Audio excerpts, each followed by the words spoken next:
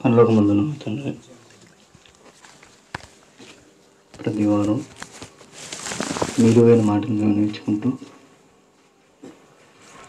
మీ కుమారుని జీవితం వెనుక చరిత్ర ఎలా దాగి ఉందో చరిత్రలో మర్చిన అనేక విషయాలను గురించి మేము ధ్యానిస్తుండగా మా జ్ఞానంతో ఈ- ఈ మహాజ్ఞానాన్ని బోధించకుండా మీ ఆత్మ సహాయంతో మీ మాటలు నేర్చుకోవడానికి సహాయం అనుగ్రహించండి తండ్రి. ఇప్పటివరకు నేర్పించిన దాన్ని బట్టి మీకు వందనాలు. మిగిలిన మాటలు కూడా మీరే మా ద్వారా మాట్లాడతారని ఆశిస్తున్నాం వచ్చిన ప్రతి ఒక్కరిని జ్ఞాపకం చేసుకోండి. చెబుతున్న నన్ను మీ పిల్లల్ని.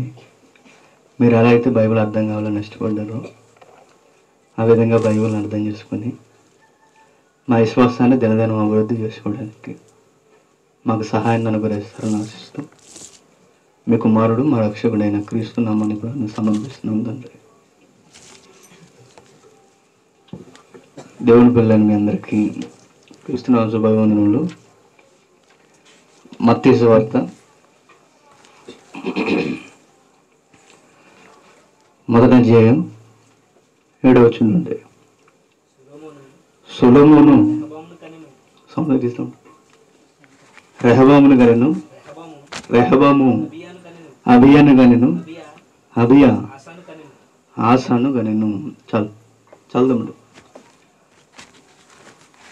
మత్య సువార్తను గురించి మనం మొదట అధ్యాయంలో ఆలోచిస్తున్నాం దాన్ని బట్టి యేసుక్రీస్తు జనన వృక్షంలో ముద్దుగా కనబడుతున్న అబ్రహాం మొదలుకొని హబియా వరకు లాస్ట్ వీక్ మనం ఆలోచించాం. ఈ వారం ఎవరు? ఆశ. సమాజానికి ఎవరు తెలుసు? ఆశ తెలుసు. ఆశ తెలియదు ఆశ ఎవరు? యూదుల రాజుల్లో ఒక రాజు. ఈ రాజు గురించి మనకెందుకు? రాజులకు రాజు మహారాజు యేసుక్రీస్తు గురించి మనకి కనుక. ఆ రాజు జనన విధనం ఎట్లా జరిగిందో మనకు తెలియజేయడానికి మిగిలిన రాజుల చరిత్రని మత్తయ్య గారు మెన్షన్ చేస్తున్నారు. అంటే యేసుక్రీస్తు యొక్క రాజ్యం యేసుక్రీస్తు యొక్క జననం యేసుక్రీస్తు పరలోకపు పౌరసత్వం దగ్గర నుండి భూమి మీద వ్యాపించిన ఆయన రాజ్య కొనలు ఎలా ఏర్పడ్డాయో మత్తయ్య గారి యొక్క ఉద్దేశం మొదట అధ్యాయంలో మనకు కనబడుతుంది. దానికి కొన్ని డెప్త్ ఏంటి మనం లాస్ట్ వీక్ ఆలోచించాం. చరిత్ర తెలియని వారు అనేక మంది యేసుక్రీస్తు యొక్క ఉనికిని ఆయా ప్రాంతాల్లో జరిగిందని ఆయన యొక్క ఉనికి లేదా ఆయన యొక్క వంశావళి బ్రాహ్మణ వంశావళిని యోగా నేర్చుకున్నాడని కాశ్మీర్ వచ్చాడని. ఇంకా రకరకాల వారికి తోచిన చరిత్రను రాస్తున్నప్పుడు మధ్య సువార్త మొదటి అధ్యాయాన్ని తన మీదకు తీసుకొచ్చామనుకోండి అలాంటి చరిత్ర అంతా దీని ముందు ఎందుకు నిలబడదని మనకి పక్క ఎవిడెన్స్తో మాట్లాడే అధ్యాయమే మొదటి అధ్యాయం. మత్తయ్య గారు రాసిన మొదటి అధ్యాయంలో ఉన్న అర్థం అదే. ఒక్కొక్క వ్యక్తి వెనక చరిత్ర ఏం జరిగింది? అందుకే ఏ వ్యక్తిని మనం వదలట్లేదు మొదటి అధ్యాయంలో. క్రైస్తవం లాంగ్ జంప్ చేసే అధ్యాయం ఇది. నిలబడి ఆలోచిస్తే చాలా లాంగ్ సబ్జెక్ట్ ఉంటుంది. అబ్రహాం అసలు ఎవరు? ఎలా ఉద్భవించాడు అయిపోయింది. ఆ రాజుల కాలంలో వచ్చిన ఆ రాజులకు ముందు పుట్టిన అబ్రహాముకు వాగ్దాన పురుషుడు ఇసాకు ఎలా వచ్చాడు? ఇసాకుకు కలలగనిన కుమారులుగా యాకోబు ఎలా వచ్చాడు? యోధ ఎలా వచ్చాడు? యూదుల దగ్గర నుండి చరిత్ర ఎలా విడిపోయింది? విడిపోయిన చరిత్రకు మూలం రెహబాము యారాబాము చరిత్రను ఎలా చీల్చేశారు విడిపోయిన తర్వాత ఆ విడిపోయిన రాజ్యాలకి ఎవరెవరు సింహాసనం ఎక్కుతున్నారు? ఆ ఎక్కిన సింహాసనంలో మొదటి సింహాసనం సులభమున తదనంతరం రెహబాము. ఆ రెహబాము తర్వాత ఎవరు? అబియా ఆ అబియ తర్వాత ఆశ. ఈ ఆశే ఈరోజు మన క్లాస్. ఓకే? చూద్దాం. ఎవరు ఈ ఆశ? మత్తయ్య గారి మనసులో నుండి పరిశుద్ధాత్మ సహాయంతో. బైబిల్లో రాసిన ఈ వ్యక్తి ఎవరు? చరిత్రలోకి వెళ్దాం. మొదటి రాజుల గ్రంథం. మొదటి రాజుల గ్రంథం పదిహేనవ అధ్యాయం. మొదటి రాజుల గ్రంథం పదిహేనవ అధ్యాయం. తొమ్మిది వచ్చిందండి. ఇస్రాయేల్ వారికి రాజైన అరాబాము ఏలుబడి ఎందు ఇరవై ఐదో ఇరవై సంవత్సరమున ఆశ యోధా వారిని ఏలన ఆరంభించను తొమ్మిది వచ్చిన బాగా గమనించండి. ఇస్రా ఇస్రాయేలీ వారికి రాజైన ఎరాబాము ఏలుబడి ఎందు ఇరవై సంవత్సరం. ఇస్రాయేల్ రాజ్య పరిపాలన పరిపాలిస్తున్న వ్యక్తి ఎవరు? యోరాబాం యోరాబాం యొక్క పరిపాలన సంవత్సరాలు తెలియజేస్తూ ఎవరి యొక్క పరిపాలన స్టార్ట్ చేస్తున్నాడు గ్రంథకర్త? ఆశ అంటే ఏ సంవత్సరంలో పరిపాలన జరుగుతుంది? ఆశ ఏ సంవత్సరంలో సింహాసనం ఎక్కాడు? ఎక్కేడడానికి చరిత్రలో అప్పటికే పరిపాలిస్తున్న రాజు ఎవరు ఆ సమకాలిక రాజు ఎవరో తెలియజేయడానికి తొమ్మిది అధ్యాయంలో ఏ రాజు పరిపాలన మనకు లేవనెత్తుతున్నాడు? ఇస్రాయేలు రాజు. అంటే అప్పటికే పరిపాలన జరుగుతుంది కనుక పరిపాలన జరిగిందంటే రాజరికపు గ్రంథాలు కూడా ఉంటాయి. ప్రతి రాజ్యానికి గ్రంథాలు ఉంటాయి. మీకు అర్థం కావాలంటే మన ఇండియా ఉందనుకోండి. ఇండియా పరిపాలన ఎలా జరుగుతుంది? ఏ కాలంలో ఎవరు ప్రధాన అయ్యారు ఎవరు రాష్ట్రపతి అయ్యారు? ఎవరు హోమ్కి సంబంధించి ఆర్గనైజింగ్ చేస్తున్నారు? ఇలా వారికి సంబంధించిన డేటా అంతా జాగ్రత్తగా ఒకరు రాస్తారు. దాన్నే రాజ్యాల గ్రంథాలు అంటారు. మీకు అర్థమవుతుందా? అంటే ఒక రాజ్య పరిపాలన జరుగుతున్నప్పుడు దానికి సంబంధించిన గ్రంథాల లిఖింపులు కూడా జరుగుతాయి. ఆశ్వరసు గ్రంథం ఒకటి ఉంటుంది. మీరు చదివేలేదు అహాశ్వరసు పరిపాలన జరుగుతున్నప్పుడు ఒకరోజు మొద్దుకే ఎవరు కల్పి చేస్తాడు? రాజుని చంపడానికి దగకూరు గోండాగళ్ళు ప్లాన్ చేస్తుంటారు. ఎలా అయినా సరే అహాశ్వరసుని లేపేద్దాం. అహస్వరస్ ఎవరు? రాజా. ఎవరు? ప్రపంచ చక్రవర్తి. అహాశ్వరసు పరిపాలన ఏ పరి ఏ పరిపాలన? Medo Persian kingdom. మాదీయులు పారసికులు మాదీయుల పారసికులకి చక్రవర్తి కూసు దేశం మొదలుకొని హిందూ దేశం వరకు ఉండదు చదివారు కదా? అవసరం లేదు కదా వచ్చిన? కూసు దేశం అంటే ఐథియోపియా దగ్గర నుండి హిందూ దేశం అంటే ఇండియా వరకు పరిపాలన జరిగిస్తున్న ఒక చక్రవర్తి ఉన్నాడు. బైబిల్లో ఇండియా గురించి కూడా ఉంది. హిందూ దేశం అంటే ఏది? ఇండియా. అంటే కూసు దేశం ఐథియోపియా ఆఫ్రికా ఖండం దగ్గర నుండి ఆసియా ఖండంలోని హిందూ దేశం వరకు ఒక రాజు పరిపాలిస్తున్నాడు. ఆ రాజు అహస్వరుసు అని ఎస్తేరు గ్రంథం యొక్క మొదటి వచనాలు మనకు కనబడుతుంటాయి. చరిత్రను తెలియజేస్తున్న ఆ సమకాలిక ఆ రచయిత ఎస్తేర్ని హైలైట్ చేస్తూనే ఒక చరిత్రతో కూడా కొన్ని విషయాలు కూడా మనకి పరిచయం చేస్తుంది ఆ చరిత్రలో పరిచయమైన విషయాలు ఏంటంటే రాజును ఒక రోజు కొంతమంది చంపేయాలనుకుంటారు. ఆ చంపేయాలనుకున్నప్పుడు ఆ ఇన్ఫర్మేషన్ శతాధిపతి దగ్గర తీసుకెళ్ళింది ఎవరు? మృద్దుకే మైలు బాగా ఉన్నారా? ముద్దుకే. పలానా వాళ్ళని రాజుని చంపడానికి ప్లాన్ చేస్తున్నారు రాజుకు ప్రాణగంట ఉంది. అది నేను విన్నాను. పలానా పలానా అని చెబితే వెంటనే వారి శిరస్త్రాన్ని తలకాయలు లేపేస్తారు. ఇది ఎక్కడ రాస్తారు ఆ విషయం? సమా రాజ్ రాజ్యానికి సంబంధించిన గ్రంథంలో రాస్తారు. రాజ్య సమాచార గ్రంథం. ఆ గ్రంథంలో రాయబడిన తర్వాత మీ క్లాస్లో చెప్పాను చాలా సార్లు. మొక్కలు తెల్లగడ్డ చూస్తున్నారు కదా గుర్తులేదు ఉందే ఆ రాజ్యపు గ్రంథాలు రాసినప్పుడు రాజుకు ఒక రోజు నిద్ర లేక వరండాలో కుదురుతుంటాడు వరండా అంటే మన మన వరండాలు అనుకుంటాడు ప్రపంచ చక్రవర్తి వరండా ఎలా ఉండదు మీకు తెలియాలి. ఆ తిరుగుతున్నప్పుడు టైం పాస్ అవగా అసలు రాజ్యంలో ఏ విశేషం జరుగుతున్నాయి ఒకసారి నకల్స్ తీసుకురండి అని అడుగుతాడు. చదువుతాడు. నా మీద attempt three not four three not seven ఏం జరిగింది?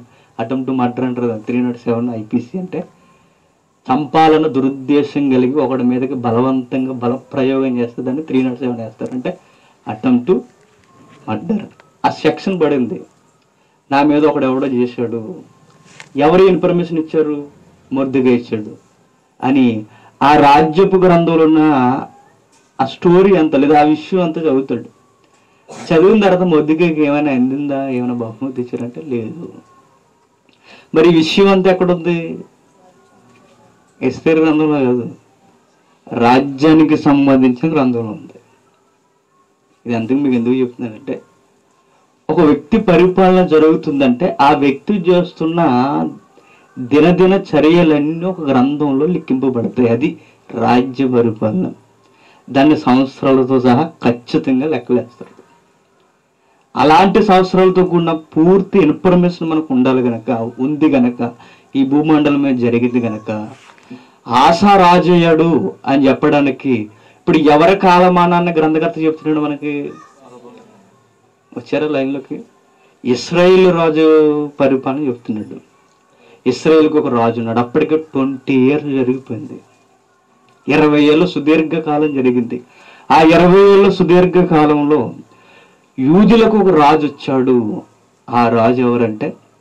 ఆశ అని చెప్తున్నాడు అంటే ఒక రాజు కాలాన్ని మనకు తెలియజేస్తూ నెక్స్ట్ రాబోతున్న రాజుని మనకు పరిశీలన చేస్తాడు పక్క విట్నెస్లు అన్నమాట చూసారా? ఆ తొమ్మిది వచ్చిన ఎంత డెప్త్ ఉందో? పక్క సాక్ష్యాలు మనకి. ఫలానాది లేదండి అనడానికి వీళ్ళు కాలాన్ని ఇరవయో సంవత్సరం. పలానా ఇస్రాయేల్ రాజు. ఎవరా రాజు? ఫలానా ఎవరో బాబు. తిరగేటాడు చరిత్ర. ఆ ఇజ్రాయేల్ దేశానికి తిరగేసాం అనుకోండి ఖచ్చితంగా లెక్కలు ఉంటాయి. అంటే బైబిల్ అంత పక్కాగా ఉందో చూడండి.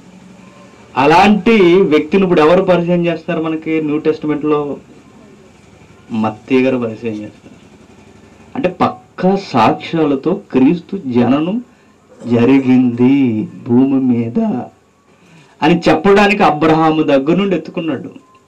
ఆ అబ్రహాము దగ్గర నుండి ఎత్తుకున్న ఆ ల్యాండింగ్ వచ్చేసరికి మనకి ఎందరో వ్యక్తులు పరిచయం అవుతున్నారు. ఆ వ్యక్తుల్లో ఒక వ్యక్తి ఆశ ఆ ఆశను చూద్దాం మొదటి రాజుల గ్రంథం. పదిహేను అధ్యాయం తొమ్మిది వచ్చిన ఇస్రాయేలు వారికి రాజైన ఎరబాబు ఏలుబడి ఎందు? సంవత్సరమున ఇరవై ఐదవ సంవత్సరమున ఆశా యోధవారిని ఏలన ఆరోపించను అతడు సంవత్సరములు నలభై ఐదు సంవత్సరములు ఏలుచుండెను ఎరుసలేమునందు ఏలుచుండెను. అతని అవ్వ పేరు మయాక ఈమె కుమార్తె అభిషలేము కుమార్తె. ఆశ తన పితరుడైన దావీదు వలె తన దృష్టికి యెహోవా దృష్టికి యథార్థంగా నడుచుకుని యథార్థముగా నడుచుకుని పురుషోగాములను దేశంలో వెళ్ళగొట్టి తన పితరులు చేయించిన విగ్రహములను అన్నిటిని అన్నిటినీ పడగొట్టును. బాగా వినాలి కొంచెం కన్ఫ్యూజ్గా ఉంటుంది రాజు మనకి. ఆశ తన పితరుడైన దావిది వలె యహోవ దృష్టికి యథార్థముగా నడుచుకొనెను. ఒక రాజు దేవుని కొరకు బ్రతికాడని అనగానే వెంటనే సామెతగా ఎవరిని చూస్తున్నారు మనకు దేవుడు? దావీదు.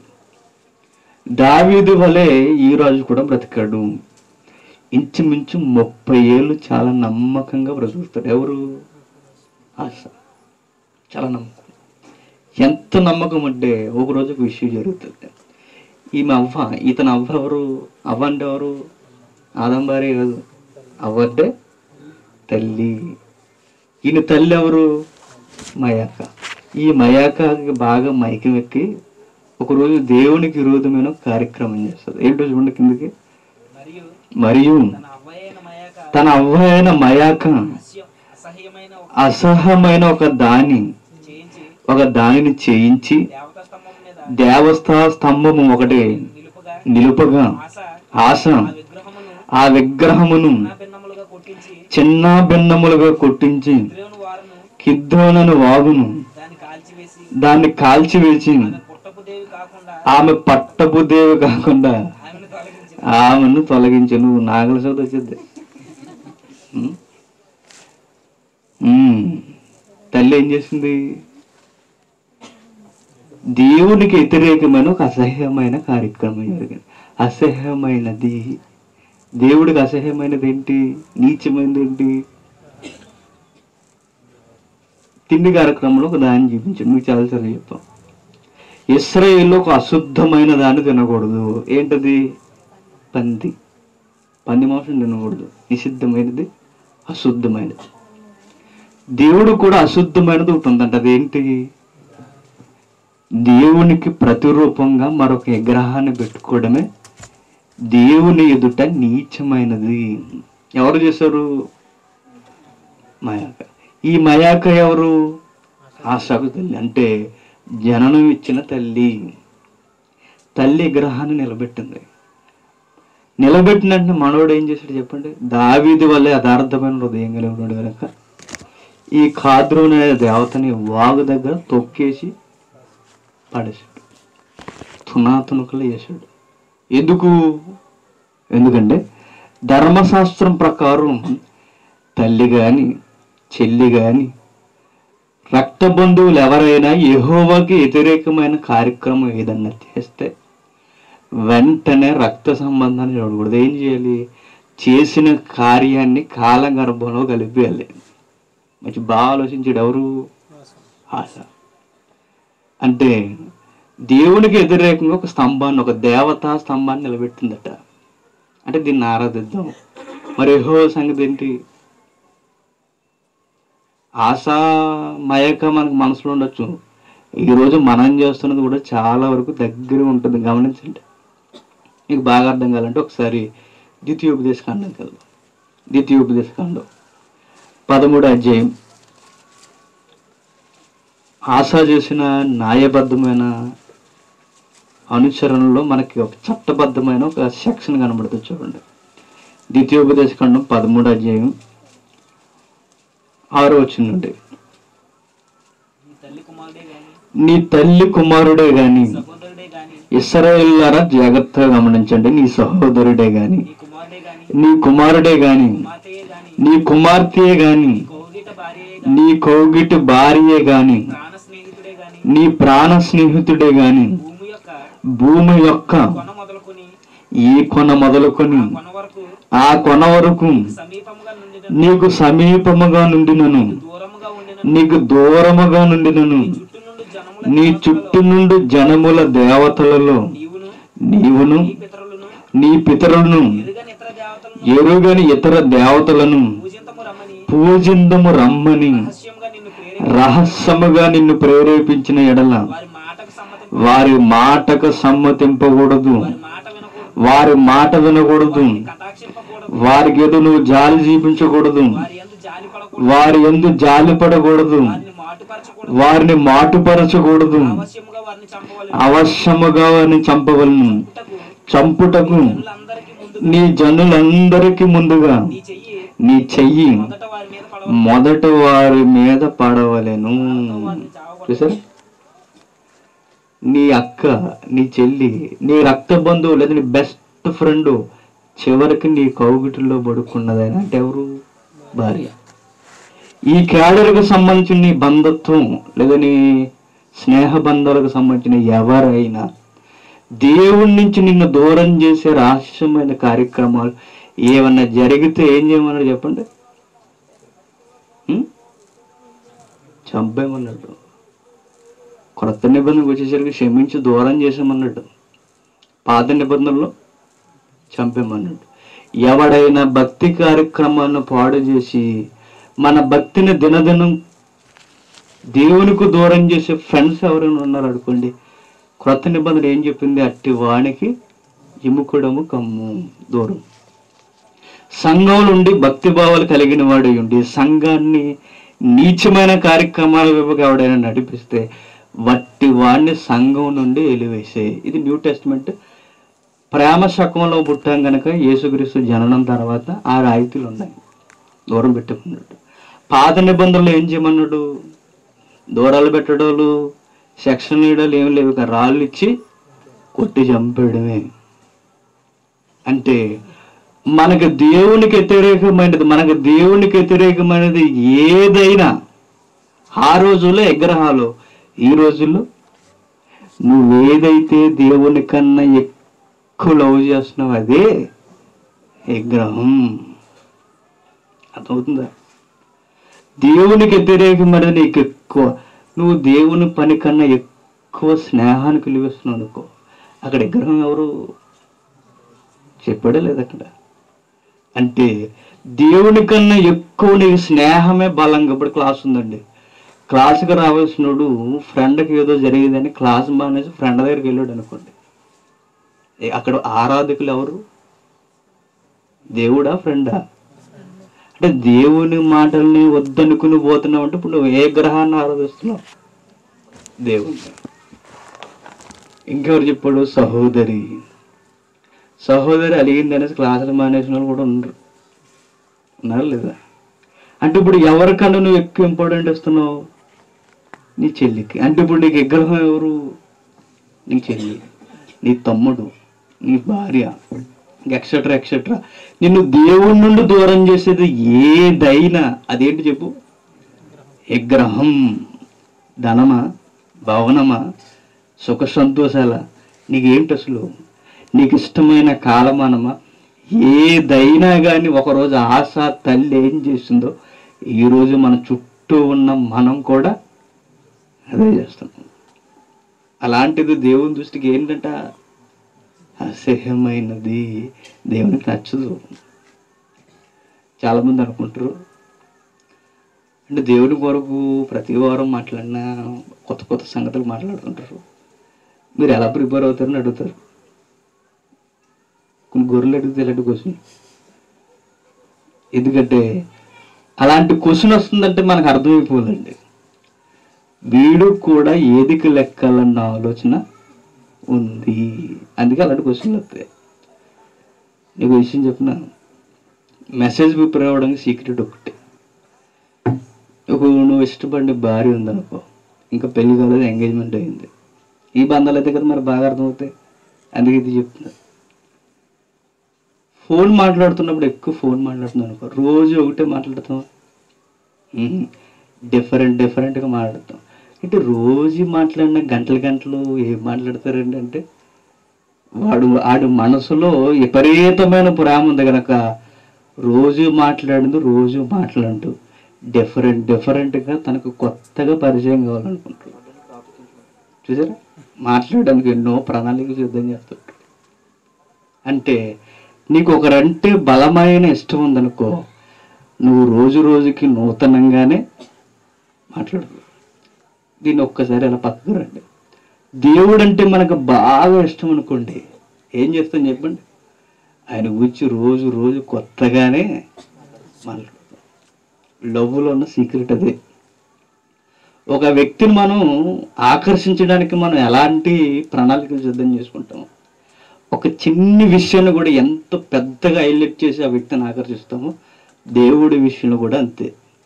అదే సీక్రెట్ నీకు దేవుడు బాగా నచ్చాడు అనుకో బైబిల్లో ఈ ఇంత అక్షరం దొరికిన దాన్ని చాలా బాగా డిజైన్ చేసి సమాజానికి చేస్తాం ఎందుకంటే అది ఆయన అంటే నీకు బాగా ఇష్టం. హలో బైబిల్ని అలానే చదవాలి మనం. అలా కాకుండా ఏవేవో చదువుతున్నాం అనుకోండి ఏవేవో లవ్వులు చేసి మనసులో పెట్టుకుని మైకెట్టుకుని ఉంచున్నాం అనుకోండి ఏమవుతాయి చెప్పండి? ఏమొస్తాయి నోటంట ఆయన అంటే నీకు అరకొర సండే క్లాస్ ఇష్టం నీకు. దినదినం ఆయన అంటే ఇష్టం అనుకో. నువ్వు సండే కాదు మండే నిలబడినా ఆయన గురించి ధారాళంగా మాట్లాడుతావు. నీకు ఏవేవో ఇష్టాలతో మైక్ దగ్గర నిలబడ్డావు అనుకో. ఏం మాట్లాడుతావు? నీ హృదయంలో ఏదైతే నిండుందో అదే అదే ఆ డబ్బా వెళ్ళలేము మనం. అందుకే చూడండి చాలామంది బోధలు సమాజంలో ఎలా ఉంటాయి చూడండి. పొంతనుండు. రాత్రి మా అమ్మాయి ఆడుకోవడానికి వెళ్ళినప్పుడు పట్టి పడిపోయింది. ప్రార్థన చేసి మా ఆవిడ నేను. అంతే తెల్లారి జరిగి పట్టి దొరికింది దేవుడికి. ఇది గ్లాస్ మనకి? పట్టి వాళ్ళు ఏమైనా విశ్వాసం పెరుగు పెరుగుతుందా? చూసారు అంటే దేవుడి మీద ఇష్టం బదులు కుటుంబం మీద ఇష్టం అనుకోండి. అంటే పనికి మళ్ళీ ఇవన్నీ మనకు వస్తుంటాయి మయాక కూడా అదే చేస్తుంది. నిన్ను ఆకర్షించి నీకు లేనిపోని ప్రేరేపణ కలిగించి త్రీ నాట్ ఫోర్ ప్రేరేపణ అంటారు. బుద్ధిపూర్వకంగా ఒక వ్యక్తికి ప్రేరేపణ అంటే వెనకాల ఉండి ఎంకరేజ్ చేస్తే చంపే ఏమవుదు చంపే. త్రీ నాట్ ఫోర్ వేస్తారు దానికి. ఏం కాదు ఎంకరేజ్ అన్నమాట. అచ్చి చేసేవాడు ఒకడు ఉంటాడు వెనకుండా ఎంకరేజ్ చేసేవాళ్ళు ఒకరు ఉంటారు అలాగే ప్రేరేపణ అనే పదం వాడాడు ఇక్కడ మనకి. ఎవడైనా నేను ప్రేరేపిస్తే ప్రేరేపిస్తే అంటే దేవునికి దూరంగా తీసుకెళ్ళేవాడు ఎవడైనా నీ దో- ప్రేరేపిస్తే వాడి మీదకి వచ్చే శిక్ష ఏంటో తెలుసా? వాడిని చంపేయాలి. అందుకే మంచి నిర్ణయం తీసుకుంటాడు రాజు. అమ్మని చంపడు కానీ రాణిగా ఉండడానికి వీలు లేకుండా ఆ పదవిని తీసేస్తాడు. అంత మంచి నిర్ణయం తీసుకున్నాడు చూడండి. ఆ రోజు అయినా ఈ రోజు అయినా ఆ రోజు ఆశా రాజు. ఈ రోజు క్రొత్త నిబంధనలు మనందరం రాజులైన యాజక సమూహం. రాజులుగా ఉన్న మనం మనకే తల్లులు ఉన్నారు మనకే చెల్లెళ్ళు ఉన్నారు మనకి భార్యలు ఉంటారు వీళ్ళు కూడా మనల్ని రేపు పొద్దున ప్రేరేపించవచ్చు అలా ప్రేరేపించిన తర్వాత మనకి ఏం కడుతున్నారు చెప్పండి?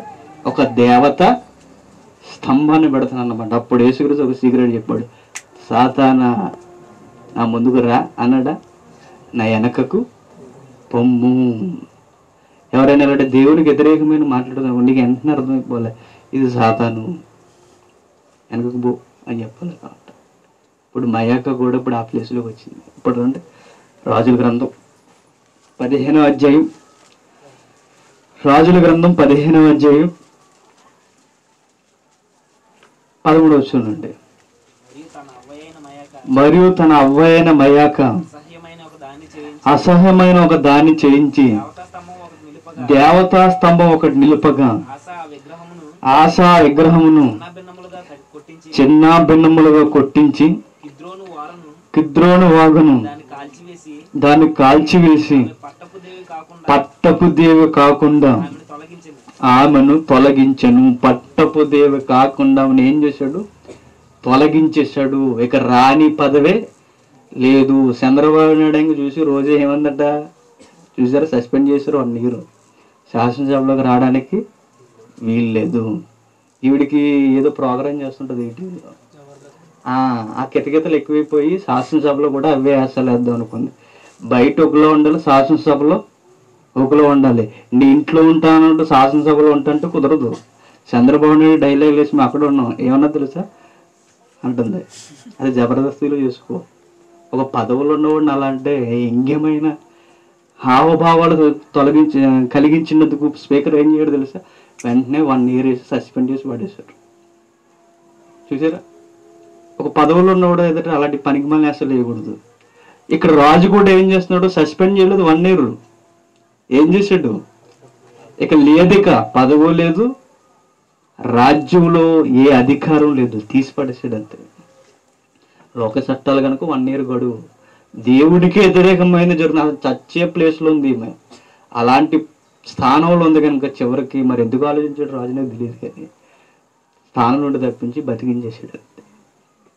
చాలా తప్పు చేసింది. చంపాలి ధర్మశాస్త్రం ప్రకారం. ఇప్పుడు ద్వితీయోపదేశకాండం ప్రకారం తల్లిని ఏం చేయాలి? చంపేయాలి.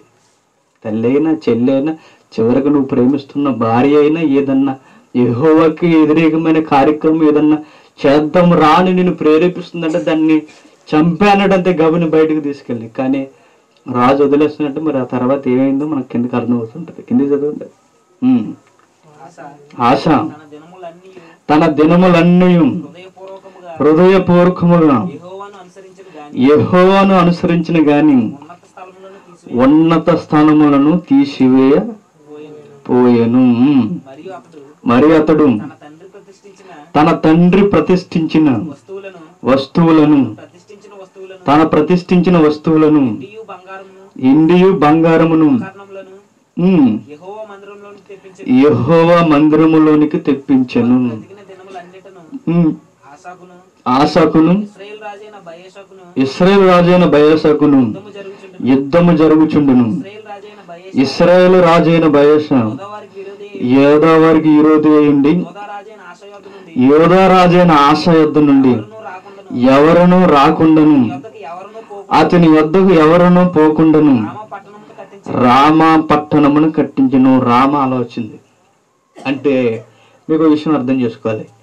ఈ పదిహేడవ వచనం పదిహేడవ వచనం కింద నుండికి పైన జరిగిన సందర్భానికి మధ్యన కాలం ఎంత ఉంటుందో తెలుసా? ముప్పై ఏళ్ళు ఉంటుంది. ముప్పై సంవత్సరాలు చాలా యథార్థంగా ఉంటాడు. ఎవరు? ఆశ. ఒకరోజు ఒక విషయం జరుగుతుంది. ఆ పరిపాలన ప్రారంభ దిల్లాల్లో తల్లి ఒక విషయం జరిగించింది. జరిగించిన తర్వాత దాన్ని కాదని యహోవాని యథార్థంగా ఆరాధించాడు. ఆ తర్వాత కిందకు వచ్చేసరికి తన తండ్రికి సంబంధించిన ఉపకరణములన్నీ ఇప్పుడు ఎక్కడ పెట్టించాడు? బంగారు పాత్రలు మిగిలిన విలువైనవన్నీ ఏహో మందిరంలో పెట్టించాడు. మంచి పని చేస్తున్నాడు. అంటే తనకి వైభవాన్ని తెచ్చే వస్తువులన్నీ ఇప్పుడు ఎవరి దగ్గర ఉండాలనుకుంటున్నాడు? దేవుని సన్నిధిని ఉండాలనుకుంటున్నాడు. మంచోడే కదా? మంచోడు. దేవుణ్ణి ఆనుకున్నంత కాలం జీవితం చాలా చక్కగా ఉంటుంది. మనల్ని మనం నమ్ముకున్నాం అనుకోండి ఏమవుతుంది? చెప్పుకోవడానికి కూడా కథలు కూడా ఉండవు. ఒక విషయం గమనించాలి. లోకం వేరు మనం వేరు. దేవుణ్ణి తెలుసుకున్నవాడు ఎవరు దేవుణ్ణి తెలుసుకొననివాడు వేరు. దేవుణ్ణి తెలుసుకుని దేవుణ్ణి నెగ్లెక్ట్ చేస్తున్నాడు పరిస్థితి ఎలా ఉంటుంది తెలుసా? ఏదో బాగుపడతాం బాగుపడతాం అని ఏం బాగుపడవు. ఆత్మీయ అభివృద్ధిలో ఏం ఉండదు. ఇతను ఏం చేశాడు తెలుసా? దేవుళ్ళు ముప్పై ఏళ్ళు చాలా యథార్థంగా భక్తిని అవలంబింప చేశాడు దావీదినే తలపించాడు. దావీది మరలా గుర్తొచ్చాడు. గ్రంథకర్త దావిదిని పోల్చి పోల్చి ఆశను గుర్తు చేస్తున్నాడు. కానీ ఒకరోజు ఒక విషయం జరిగేసరికి ఒక యుద్ధం జరుగుతుంది. ఇస్రాయేల్ రాజుకి యూదు రాజు కంటే ఆశాకి సుదీర్ఘమైన కాలం యుద్ధం జరుగుతూనే ఉంది. అలాంటి టైంలో ఒక సిటీ కడుతున్నారు. సిటీ ఏంటి? రామ పట్టణం పునర్నిర్మాణం కదా నిర్మాణం జరుగుతుంది. అప్పటికే రామ ఉంది. ఆ రామ దగ్గర సిటీ అంటే స్మార్ట్ సిటీలు వచ్చినాయి కదా ఇప్పుడు? అలాంటివి అన్నమాట.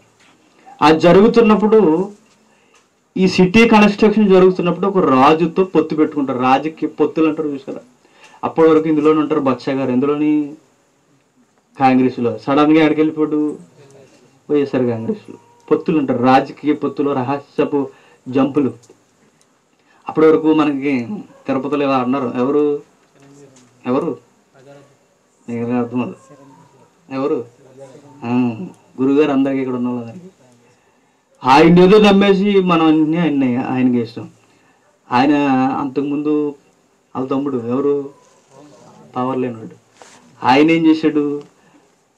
ఆ రోడ్ మాట్లాడుతూ మాట్లాడుతూ ఏమన్నాడు? కాంగ్రెస్లో పంచులు ఊడిపోతాయి అనేవాడు చాలా స్ట్రాంగ్గా మాట్లాడేవాడు ప్రజల చేత ప్రజల కొరకు పరిపాలింపబడుతున్న ప్రజా ప్రభుత్వం ఇప్పటి వరకు లేదు కనుక ప్రజా ఏం చే ప్రజాసేవన జన అలానే ప్రజారాజ్యం రాబోతుంది. ఒక్కొక్కడికి పంచులు ఊడిపోతాయి అనేసి రోడ్ సెంటర్లో మాట్లాడేవాళ్ళు. చివరికి ఎలక్షన్ జరిగిపోయింది అన్న సీఎం కాలేదు. ఎవరు సీఎం అయ్యారు? వైఎస్ గారు అయ్యారు. వైఎస్ గారు అయ్యారు టైంలో ఆయన అయిన తర్వాత కాంగ్రెస్ వాళ్ళు పంచులు ఊడగొడతన్న వాళ్ళు అందరూ. ఇప్పుడు ఎవరు పంచులోకి దూరారు చిరంజీవి గారు. కాంగ్రెస్ వాళ్ళు పంచులోకి దూరాడు పంచమైంది? అప్పుడే అన్నదమ్ముల ఇద్దరికి గొడవ వచ్చింది. చేసిన ప్రకటనలు ఏంటి? సమాజానికి ఏం భరోసాలు ఇచ్చాం? ఏం చేస్తున్నాం అన్నా? చీట్లన్నీ అమ్మేసేవని వాడికి ఇటుకి అందరికీ యుద్ధాలు జరిగి అప్పటి నుంచి ఇప్పటికే కలలేదు అలాంటి రాజకీయ పొత్తులు చాలా జరుగుతుంటాయి. అలాంటి రాజకీయ పొత్తులు ఇక్కడ ఒక రాజకీయం జరుగుతుంది. రామా కన్స్ట్రక్షన్ జరుగుతుంది. అమరావతి కన్స్ట్రక్షన్లో కూడా జరుగుతుంది. ఆ జరుగుతున్నప్పుడు సిటీలు కడుతున్నప్పుడు ఒక్కడే దాన్ని భుజాల మీద వేసుకుంటే ఒకరి వల్ల అవ్వదు. క్యాబినెట్ను సంప్రదించాలి వద్దా ఏపీలో ఉన్న ధనం సరిపోద్దా? సరిపోదు. పైనుంచి దిగుమతులు రావాలి. అప్పటికి పైనుంచి దిగుమతులు రావాలంటే క్యాబినెట్లుగా ఏముండేవి ఆ రోజుల్లో? ఐగుప్తి బాగా ధనం ఉన్నది అప్పుడు ఐగుప్తి బాగా ధనం ఉన్నది కనుక అక్కడున్న ఒక రాజుతో పొత్తు పెట్టుకుంటాడు. ఎవరు? అసలే కాదు. ఇస్రాయేల్ రాజు. ఇస్రాయేల్ రాజు ఇప్పుడు ఇద్దరు కన్స్ట్రక్షన్ జరగడానికి పూనుకుంటారు. ఎప్పుడైతే ఇది జరుగుతుందో ఇప్పుడు అర్జెంటుగా ఆశ కన్నులన్నీ ఎవరి మీద పడితే వీళ్ళిద్దరూ కలిసారంటే ఇప్పుడు యూదుల రాజ్యమే లేకుండా పోతుంది. ఇప్పుడు వీళ్ళిద్దరు స్నేహాన్ని చెడగొట్టాలంటే ఇప్పుడు నా వైపుకి ఎవరిని మళ్ళించుకోవాలి ఆ వస్తున్న రాజు ఆ నవన రాజ్యానికి సంబంధించిన ఐగుప్తి రాజు నా దగ్గర రావాలి. నా దగ్గర వచ్చాడంటే బలం నాకు పెరుగుద్ది. ఇస్రాయేల్ రాజుల బలం తగ్గిపోతుంది. అందుకే ఎమ్మెల్యేలు కూడా పార్టీ ఎలా పడిపోతుంది తెలుసా? ఇందులో ఉన్న మెయిన్ క్యాడర్ ఎమ్మెల్యేలు అందులోకి వెళ్ళిపోయారు అనుకోండి ఏమవుతుంది?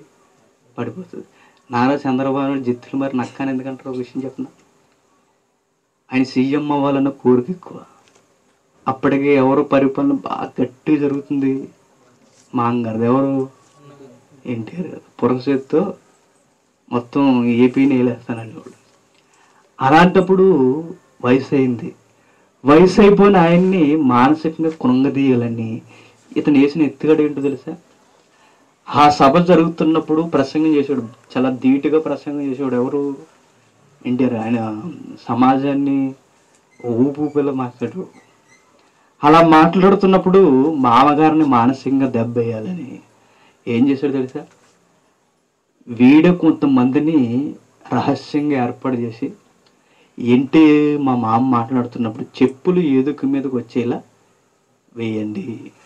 అంటే మాట్లాడుతున్నప్పుడు ఎప్పుడైతే చెప్పులు ఏదుకు మీదకి వచ్చాయో ఏదికి మీదకి వచ్చిన వెంటనే సినీ నటులకున్న బలహీనత బలహీనత ఏంటి సినిమా హిట్ అయింది అనుకోండి ఇంకా నట్టుకోలేము సినిమా ఫ్లాప్ అయిపోయింది అనుకోండి ఎవడు కనబడ్డ ఇక్కడ. ముసుగు వచ్చిన ఇంకా లోన్ ఉంటుంది జనాలు పొగుడుతున్నారు అనుకోండి చాలా ఉల్లాసంగా బతికేస్తారు జనాల నుండి నెగిటివ్ టాక్ వచ్చింది అనుకోండి వెంటనే పడిపోతాడు ఇప్పుడు ఈయనకి అసలే ప్రజలంటే బాగా పిచ్చి. ఎవరికి? ఎన్టీఆర్ గారికి. నా ప్రసంగం జరుగుతున్నప్పుడు అది నా సభలో నా ప్రజలు నాకు చెప్పులు వ్యతిరేకంగా వేశారంటే నా రాజ్యం నచ్చలేదన్నమాట. నేను చాలా మానసికంగా డల్ అయిపోయారు. ఎవరు? ఎన్టీఆర్. ఎప్పుడైతే ఇలా డల్ అయిపోడు ఇలా డల్ అయ్యి హాస్పిటల్కి వెళ్ళేసరికి అప్పటికే ఎమ్మెల్యేలు అందరూ గూడు పుటాని అంతా జరిగిపోయింది. ఇంకా ఆ తర్వాత ఇంకేం జరిగినాయి మీకు తెలుసు. అంతే హాస్పిటల్కి వెళ్ళి తిరిగి వచ్చేసరికి పార్టీ రూపురేఖలే మారిపోయినాయి. అప్పుడే ఆయనకు వచ్చింది ఏంటి? Heart attack. ఒకదాని వెనకాల ఒకటి. తట్టుకోలేపడి ముసుడు అయిపోయాడు కదా అప్పటికే. సభలో జరిగిన దౌర్జన్యానికి ఇక్కడ జరిగిన ఈ విషయానికి పార్టీ పెరాయింపులకి ఇవన్నీ చూసి తట్టుకోలేక చచ్చిపోయాడు. అందుకే మామకి ఎన్ని ఓడి ఒడిసాను అంటారు. బాగా పాలిటిక్స్ చూసిన సీనియర్స్ ఎవరిని ఎండగడతారు? చంద్రబాబు మా మామకి ఎన్ని పొడి అంటారు. ఆయన చంపి ఏది చాలా తెలివిగా చంపేశాడు చూడండి. ముసలోడు ఎలాగ వెళ్ళిపోతాడని తెలుసు. గుండెపోటు రావాలంటే ఏం చేయాలో ప్రణాళికలు సిద్ధం చేసుకోండి. అలాగే ఇప్పుడు ఆశ కూడా ఇప్పుడు ఎవరు గుండెపోటు తేవాలనుకుంటున్నాడు? ఇస్రాయేల్ రాజుకి. నాకు సపోర్ట్ కావాలి. నాకు సపోర్ట్ కావాలంటే ఆ రాజ్యం బలహీనం అవ్వాలి. సిటీ నిర్మాణం జరిగిపోతుంది. ఆ నిర్మాణం ఆగాలి దానికి సపోర్ట్ చేస్తున్నప్పుడు నా దగ్గరికి రావాలంటే ఒక వ్యక్తిని నేను ఆకర్షించాలంటే ఏం చేయాలి? ఆ రోజైనా ఈ రోజైనా అందరిని కొనేసి తిండి చెప్పండి. ధనం అదేనా కొనేస్తుంది. అదే డబ్బులు పెట్టామంటే కొత్త పార్టీలను కూడా తెర మీద తీసుకురావచ్చు. అలాగే ధనం కావాలి. మరి ఆ రోజు కరెన్సీ ఉందా? ఆ రోజుల్లో నోటు ఉందా లేదు. మరి కరెన్సీ లేదు కనుక మరి ఏం ఉపయోగించుకునేవారు? ఘన పదార్థాలు ఉపయోగించుకునేవారు. ఘన పదార్థాల్లో విలువైన వస్తువులు ఏంటి బంగారం వెండి ఇంక ఎక్సెట్రా ఎక్సెట్రా ఇవన్నీ ఆశారాజు దగ్గర ఉన్నాయి. ఇవన్నీ పట్టుకెళ్ళి ఈ మహిమ అంతా పట్టుకెళ్ళి ఎవరి దగ్గర పెట్టాడు అక్కడ ముందు? ఏహో మందిరంలో పెట్టాడు. అర్థమవుతుందా? యహో మందిరంలో పెట్టాడు. అంటే ఈ మహిమంతా యహో పాదాల దగ్గర ఉండాలి అనుకున్నాడు.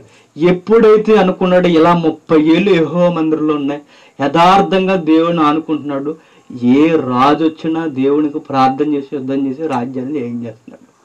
కానీ అనుకుని ఈ సంఘటన జరిగేసరికి ఇప్పుడు ఆ రాజుని కొనాలంటే ఇప్పుడు ఏ వస్తువులు ఉపయోగించుకోవాలనుకున్నాడు? ఈ బంగారాన్ని యెహోవా మందిరంలో ఉన్న బంగారాన్ని ఇప్పుడు ఎవరికి కానుకగా పంపుతాడు తెలుసా? అడిగి పంపుతాడు. అక్కడ ప్రారంభం అవుతుంది ఎవరికి? పతనం ఎవరికి? దేవునికి. మనం చేసే తప్పు ఎప్పుడు అదే. మనం ఒకటి అనుకుంటూ దేవుని కోసం చేద్దామని. ఈ ఇల్లు నేను చాలా బలంగా అనుకుంటున్నాను. ఇక లేదిక అని దేవునికి మాటిస్తాం మనసులో. ఆ తర్వాత మళ్ళీ ఏం చేస్తాం చెప్పండి వెనకడు వేస్తాం. అయిపోయినట్టు ఇక ఆధ్యాత్మిక జీవితం ఇంక అక్కడి నుంచి నాశనం. ఒక మాట బలంగా నిర్ణయం తీసుకున్నామంటే అయిపోతుంది బైబిల్ చదవడం ప్రారంభించుకోనుకోండి నువ్వు ఏ పుస్తకం అయితే చదువుతున్నావు ఆ పుస్తకం అయిపోవాలి. అంటే చిన్న చిన్న విషయాల దగ్గర ఉంటే మనం అలవాటు చేసుకోవాలి. ఒకటి మనం ప్రారంభించామంటే దాని ముగింపు కూడా చూడాలి. ఒక పుస్తకం జరుగుతుందంటే అది అయిపోలేక ఏదో ఒక విషయం నువ్వు జరిగిస్తున్నావు అంటే అది అయిపోవాలంటే ఒకటి ప్రారంభించిన తర్వాత మధ్యలో ఆపి అలవాటు చిన్న చిన్న విషయాల్లో ఉందనుకో పెద్ద విషయాల్లో కూడా అదే పని చేస్తాం అనమాట మనోడు అదే చేశాడు. నలభై ఏళ్ళ పరిపాలనలో ముప్పై ఏళ్ళు సూపరు. ఆ తర్వాత ఏమైందో తెలుసా? రాజుతో పొత్తు పెట్టుకోవడానికి దేవుని వస్తువుల్నే ఆమె ఇదంతా ఎక్కడుందని కథ చెప్పేస్తాం అనుకోకండి. అదవుతుందా ఇదంతా ఎక్కడుంది? రెండో దినవృత్తాంతాల గ్రంథం. దేనా వృత్తాంతాల గ్రంథం. దినవృత్తాంతం అంటే ఏంటి?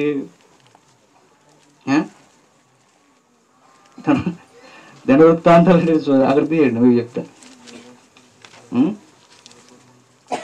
రెండో దినవృత్తాంతాల గ్రంథం. పదిహేనవ అధ్యాయం. మొదటి వచ్చిన నుంచి కంటిన్యూ చేద్దాం మీకు బాగుంటుంది ఇక్కడ ఆ కాలమున? పద్నాలుగు నుండి కంటిన్యూ అవుతుంది ఒకసారి స్పీడ్ స్పీడ్ చదువుదాము చుట్టూను పద్నాలుగు అధ్యాయం మొదటి అబియా. అభియా తన పితరులతో కూడా. అభి ఎవరు? ఆశకు తండ్రి. ఈ అభియ కూడా మధ్యసవర్తులు ఉన్నాడు. జనులు అతన్ని జావీదు దావీదు పట్నం మందు పాతి పెట్టరు అతనికి బదులుగా అతని కుమారుడైన ఆశారాజైను ఇతని ఇతని దినములలో పది సంవత్సరములు నెమ్మది పొందెను. ఆశ. తన దేవుడైన యెహోవా దృష్టికి అనుకూలంగానే యథార్థంగా నడిచిన వాడే అన్ని దేవతల బలిపేటను పడగొట్టి ఉన్నత స్థలములను పాడు చేసి స్థలములను పగులగొట్టి దేవతా కొట్టివేయించి పితరుల దేవుడైన వారి పితరుల దేవుడని యహోవను ఆశ్రయించుటకును ధర్మశాస్త్రమును బట్టి బట్టి విధులను బట్టి క్రియ- క్రియలను జరిగించుటకును. యోధా వారికి ఆజ్ఞాపించింది చాలా బాగుంది చూడండి ధర్మశాస్త్రం అనుసరిస్తూ. ఉన్నత స్థలములను సూర్య దేవతా స్తంభములను యోధవారి పట్టణములన్నిటిలో నుండి తీసివేసను తీసివేసును. అతని ఏలుబడి ఎందు రాజ్యము నెమ్మదిగా ఉండెను.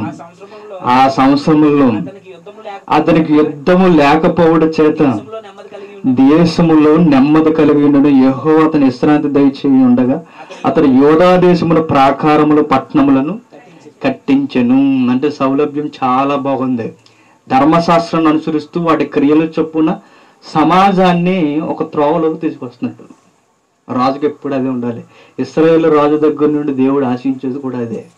ధర్మశాస్త్రం దానికి లా ఉండాలి. దాన్ని బట్టి ప్రజా పరిపాలన జరగాలి. రాజు దేవుడిని ఆనుకుని పరిపాలన జరిగించాలి. అప్పుడు దేవుని దృష్టికి చాలా మంచిగా అనిపించేది. అందుకే నచ్చింది అలా జరిగిస్తున్నప్పుడు అది జరుగుతూ జరుగుతున్నప్పుడు మనకు విషయం అర్థమవుతుంది కిందికి. కిందికి. అతడు యోధా వారికి ఎలాగ ప్రకటన చేసి అతడు యోధ వారికి ఎలాగ ప్రకటన చేస్తున్నాడు దేవుడైన యెహోవా యెహోవాను మన దేవుడైన యెహోవాను ఆశ్రయించితిమి. ఆయన మన చుట్టూను నెమ్మది కలుగజేసి ఉన్నాడు. దేశమందున మనం నిరభ్యంతరముగా తిరగవచ్చును. మనం ఈ పట్టణములను కట్టించి వాటి ప్రాకారములను గోపురములను గుమ్మములను దోరబంధములను అమర్చదము. ఆ కాలమున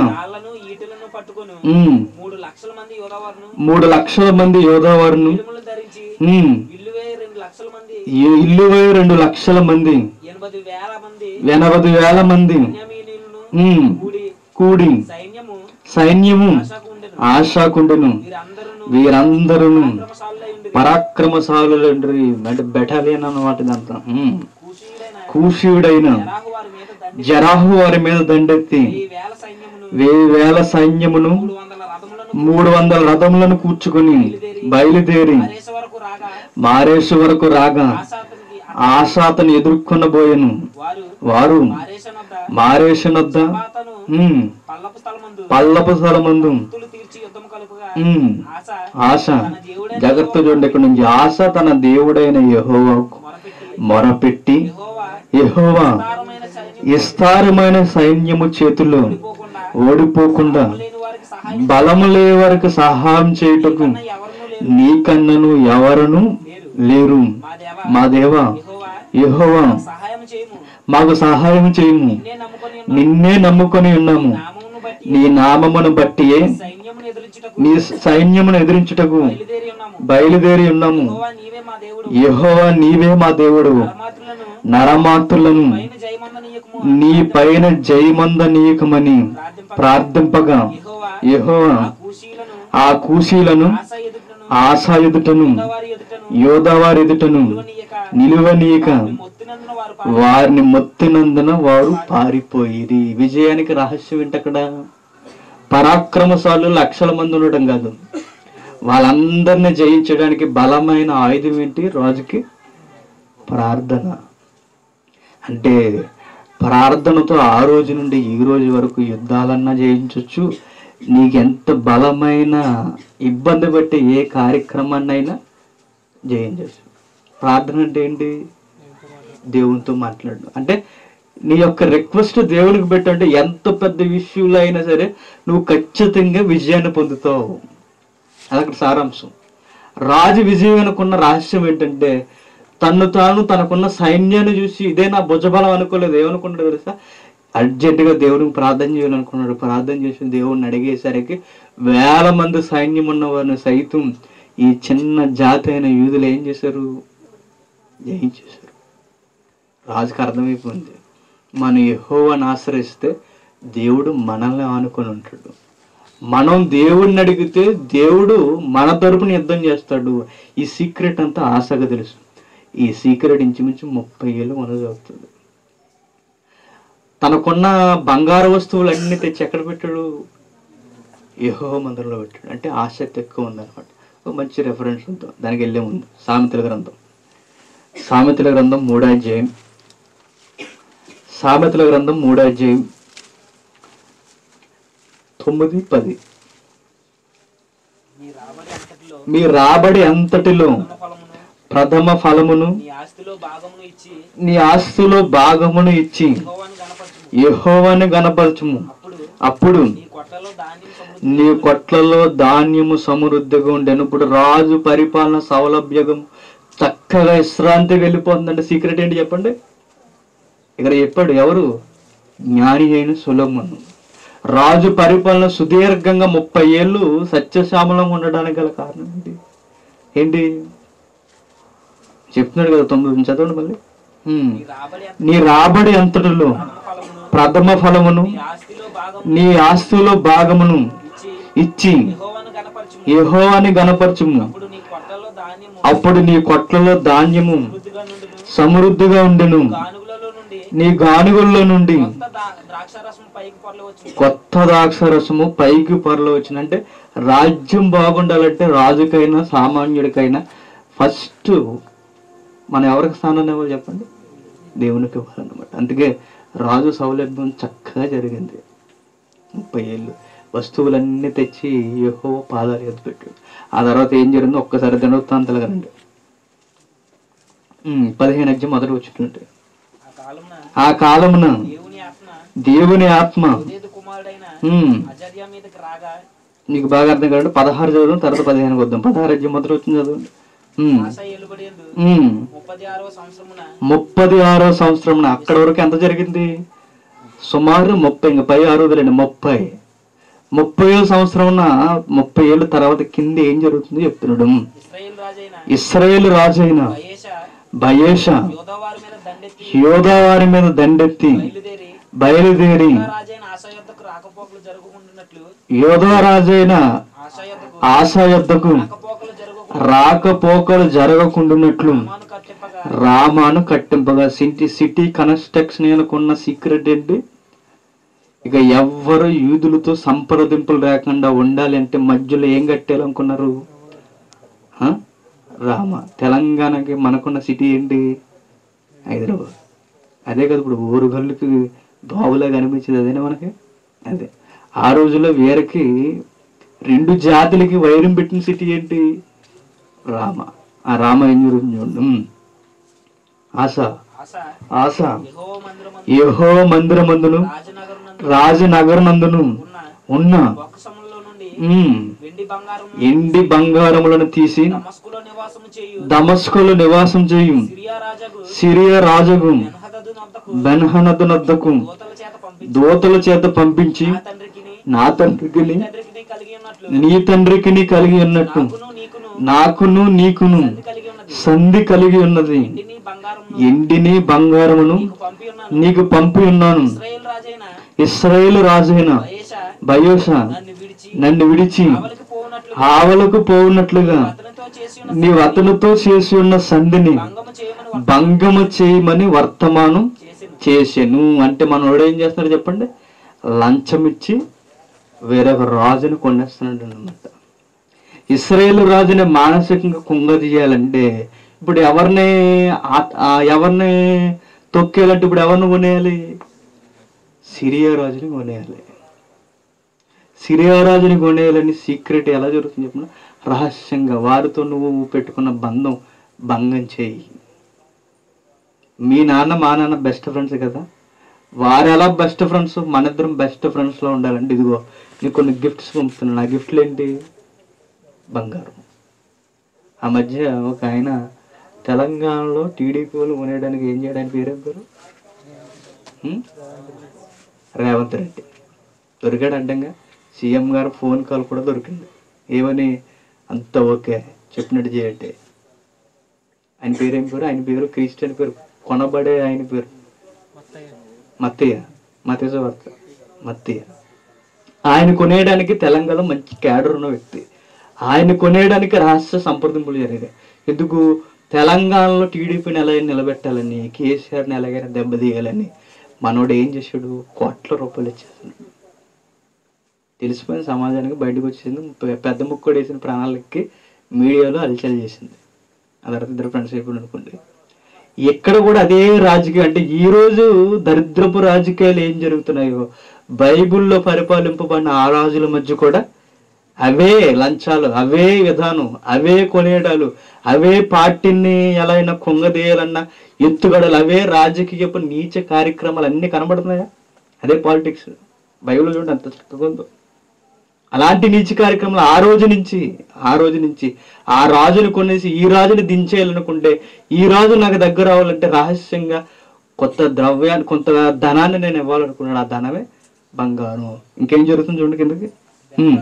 ఆశ మాట అంగీకరించి ఆశా మాట అంగీకరించి డబ్బు ఇస్తే ఎవరి దగ్గర చెప్పండి? ఆశా మాట అంగీకరించి తన సైన్యముల అధిపతులను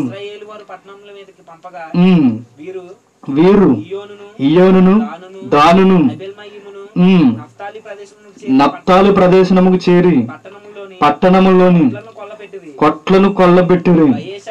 బయోషది విని రామాలో పాకారములు కట్టించుట మానివేసి తాను చేయుచున్న పని చాలించెను. అక్కడ ఏమని కన్స్ట్రక్షన్ స్టార్ట్ చేశాడు? ఇస్రాయేల్ రాజుకున్న నేను యూదు రాజులతో ప్రజలు సంప్రదింపులు జరగకుండా ఉండాలంటే మధ్యన ఏం రావాలనుకున్నాడు? సిటీ రావాలనుకున్నాడు. రామాపట్నం నిర్మాణం జరగాలనుకున్నాడు. ఇప్పుడు రామాపట్నం నిర్మాణం ఆగితే ప్రజలతో ప్రజలకి సంప్రదింపులు ఉంటాయి అంటే ఒకరికొకరికి మిళితమై ఉంటారు. ఈ మిళితమై ఉండాలంటే రామాపట్నం కన్స్ట్రక్షన్ జరగకూడదు. రామాపట్నం కన్స్ట్రక్షన్ జరగకుండా ఉండాలంటే ఇప్పుడు రాజుని మానసికంగా దెబ్బతీయాలంటే ఆ రాజుకి ఆ రాజుకి సంధి అయిన ఆ సంధిని భంగం చేయాలంటే ఇప్పుడు ఆపోజిట్గా ఉన్నవారిని కొనేయాలనుకున్నాడు. కొనేసినట్టు వెంటనే ఇప్పుడు ఏం ఆగిపోయింది? సిటీ నిర్మాణం ఆగిపోయింది చూడండి. సరే ఎక్కడ దెబ్బ పడింది దీన్నే రాజకీయం అంటారు. ఎక్కడెక్కడికి వెళ్ళిందో చూడండి. వెంటనే సిటీ నిర్మాణం ఆగిపోయింది. ఆగిపోయిన ఇప్పుడు నిర్మాణం అయితే ఆగింది. ద్రవ్యం మాత్రం బాగా ఉంది. ఆ ధనాన్ని అంతా లేదా సిటీకి సంబంధించిన మనీ అంతా ఇప్పుడు ఎక్కడికి డౌన్లోడ్ అవుతుందో చూడండి. ఇదంతా రాజకీయం బలం ఉంటుంది. కిందకి. అప్పుడు రాజైన ఆశ యోధవారు అందరిని సమకూర్చును. ఈరు పోయి బయేసా కట్టించుచుండిన రామపట్టణపు రాళ్ళ రామాపట్నపు రాళ్ళను దూలములను తీసుకుని వచ్చిరి. వాటితో ఆశ వాటితో ఆశ గెభను ప్రాకార పురములుగా కట్టించెను. చూసారా? అక్కడ జరగాల్సిన నిర్మాణం అంతా ఇప్పుడు ఎక్కడ జరుగుతుంది? యూదుల ప్రాకారాలు జరుగుతున్నాయి. గోళ కట్టుకున్నారు. వాళ్ళు సిటీ కట్టుకుందాం అనుకుంటే ఆ ఉన్న రాయితీలతో గోళ కట్టేస్తున్నారు. ఇదంతా ఎవరు గమనిస్తారు? మనుషుల హృదయాలను ఎరిగినవాడు దేవుడు ఏహో ఇవన్నీ అబ్జర్వ్ చేస్తున్నాడు. దేవుడి స్థానంలో ఉండి ఇటు చేస్తున్న కుప్పగంతులు ఏంటి అసలు? నా ప్రజలకు రాజుగా ఉండి ఈ రాజమందిరం నుండి నన్ను ఆడుకుంటూ ప్రజలను పరిపాలించవలసిన ఈ ఆశ. ఎదుటివాడిని తొక్కేయడానికి నాకు మహిమ ఉన్న వస్తువులను పట్టుకెళ్ళి ఏ ఒక మనిషి బలాన్ని సంప్రదింపులు జరిగిస్తున్నాడంటే అక్కడే వాడు దేవునికి వ్యతిరేకమైపోయాడు ముందు యుద్ధం జరిగినప్పుడు ఎవరితో సంప్రదింపు చేశాడు? దేవునికి ప్రార్థన చేసి యుద్ధం కన్స్ట్రక్షన్ జరిగేసరికి వీరొకడు కలుస్తున్నాడు అనగానే దేవునికి బలానికి బదులు ఎవడ బలాన్ని నమ్ముకుంటున్నాడు?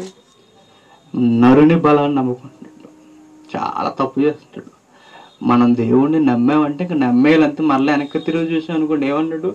నా గిట్టి మీద చేయేసి వెనక్కి తిరిగి చూసిన వాడు నాకు శిష్యుడు కాదు పాత్రుడు కాదు. ఒక్కసారి మాట ఇచ్చామంటే మళ్ళీ వెనక్కి తిరిగి చూడకూడదు. ప్రమాణ స్వీకారం చేస్తారు పెళ్ళిలో వ్యాధి ఎందును బాధ ఎందును అస్సలు సమస్య లేదు. మిమ్మల్ని వదలని వదలండి. గొడవ వేసరికి తెల్లారేసరికి కోర్టు మీద ఉంటారు ఇంకా కూడా ఆడదు మనకి. చూసారా కేసులు? కాళ్ళకున్న పారాయణ ఆడదు గోళ్ళకున్న గోల్డ్ రంగు పోదు తెల్లారేసరికి వారం జరిగేసరికి కోర్టు దగ్గరికి వస్తారు. మరి ప్రమాణాలు ఏమైనాయి? ప్రమాణాలు లేవు పాడు లేవు మావిడకులు లేవు ఇక. అంతే ఇంక అయిపోయింది ఇక. నాగిటి మీద చెయ్య. ఎవడైనా నాకు మాటిచ్చి తండ్రి నీ కొరకు బ్రతుకుతానికండి సమస్తం నీదే అన్నావా? ఇక ఏ విషయంలో వెనక్కి తిరుగు చూడడానికి వీల్లేదు. అన్న సారం పాత నిబంధన దగ్గర నుండి క్రొత్త నిబంధన వరకు మూల సారం అదే. రాజు నాగిటి మీద దేవుని మీద ఆనుకుని బ్రతుకుతున్నాడు. ఆనుకుని బ్రతుకుతున్నప్పుడు వేరొకరు నువ్వు జయించాలంటే నువ్వేం చేయాలి? దేవుణ్ణే సంప్రదించాలి. ఎవడో కలిసిపోతున్నాడు బలం పెరిగిపోతుందని నువ్వెళ్ళి వాడితో పొత్తు పెట్టుకుంటే నువ్వేం చేసినట్టు? తప్పు చేసినట్టు. ఇదంతా దేవుడు గమనించి వెంటనే ప్రవక్తను పంపుతాడు. ప్రవక్త రాను రాను వెంటనే ఏ మాట అంటాడు చూడండి కిందకి? ఆ కాలమందు. దీర్ఘదర్శి అయిన అనాని అతనితో ఇలాగ ప్రకటించింది అతనితో ఎలాగ ప్రకటించను నీవు నీ దేవుడైన యెహోవాను నమ్ముకొనక నువ్వు నీ దేవుడైన యెహోవాను నమ్ముకొనక. సిరియా రాజును నమ్ముకుంటే నమ్ముకుంటువే. సిరియా రాజు యొక్క సైన్యము. సిరియారాజు యొక్క సైన్యము. నీ వశం నుండి తప్పించుకుని పోయిను. నీ వశము నుండి తప్పించుకుని పోయెను. బహు విస్తారమైన రథములను. గుర్రపు రౌతులను గల. కూసీలను అయినను. నువ్వు యెహోవాను నమ్ముకొని నందున వాయిన వారిని నీ చేతికి అప్పగించును. తన ఎడల యథార్థ హృదయం గల వారిని యుహో హృదయం గల వారిని కనుదృష్టి సంచారం లోకమందంతటా సంచారం చేయుచున్నది. ఈ విషయమందును నీవు మతి తప్పి ప్రవర్తించితివి గనుక ఇది మొదలుకొని నీకు యుద్ధములే కలుగును మతి తప్పి ప్రవర్తించితివి.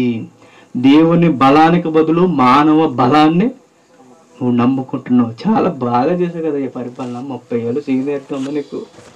ధర్మశాస్త్రం ప్రకారం మంచిగా ప్రజలను ఒక క్రమ పద్ధతిలోకి తీసుకొచ్చావు. దేవుణ్ణి ఆనుకుంటూ విశ్రాంత దినములను నీ దేశమే జరిగేలా ఎన్నో దినాలు నువ్వు అనుభవించు అన్నీ బాగా చేస్తావు. ఈ విషయానికి వచ్చేసరికి కళ్ళ ముందు జరుగుతున్న విషయాన్ని బట్టి కనీసం ముందు జరిగిన సిరియా విషయం నువ్వు అబ్జర్వ్ చేయలేకపోయావు.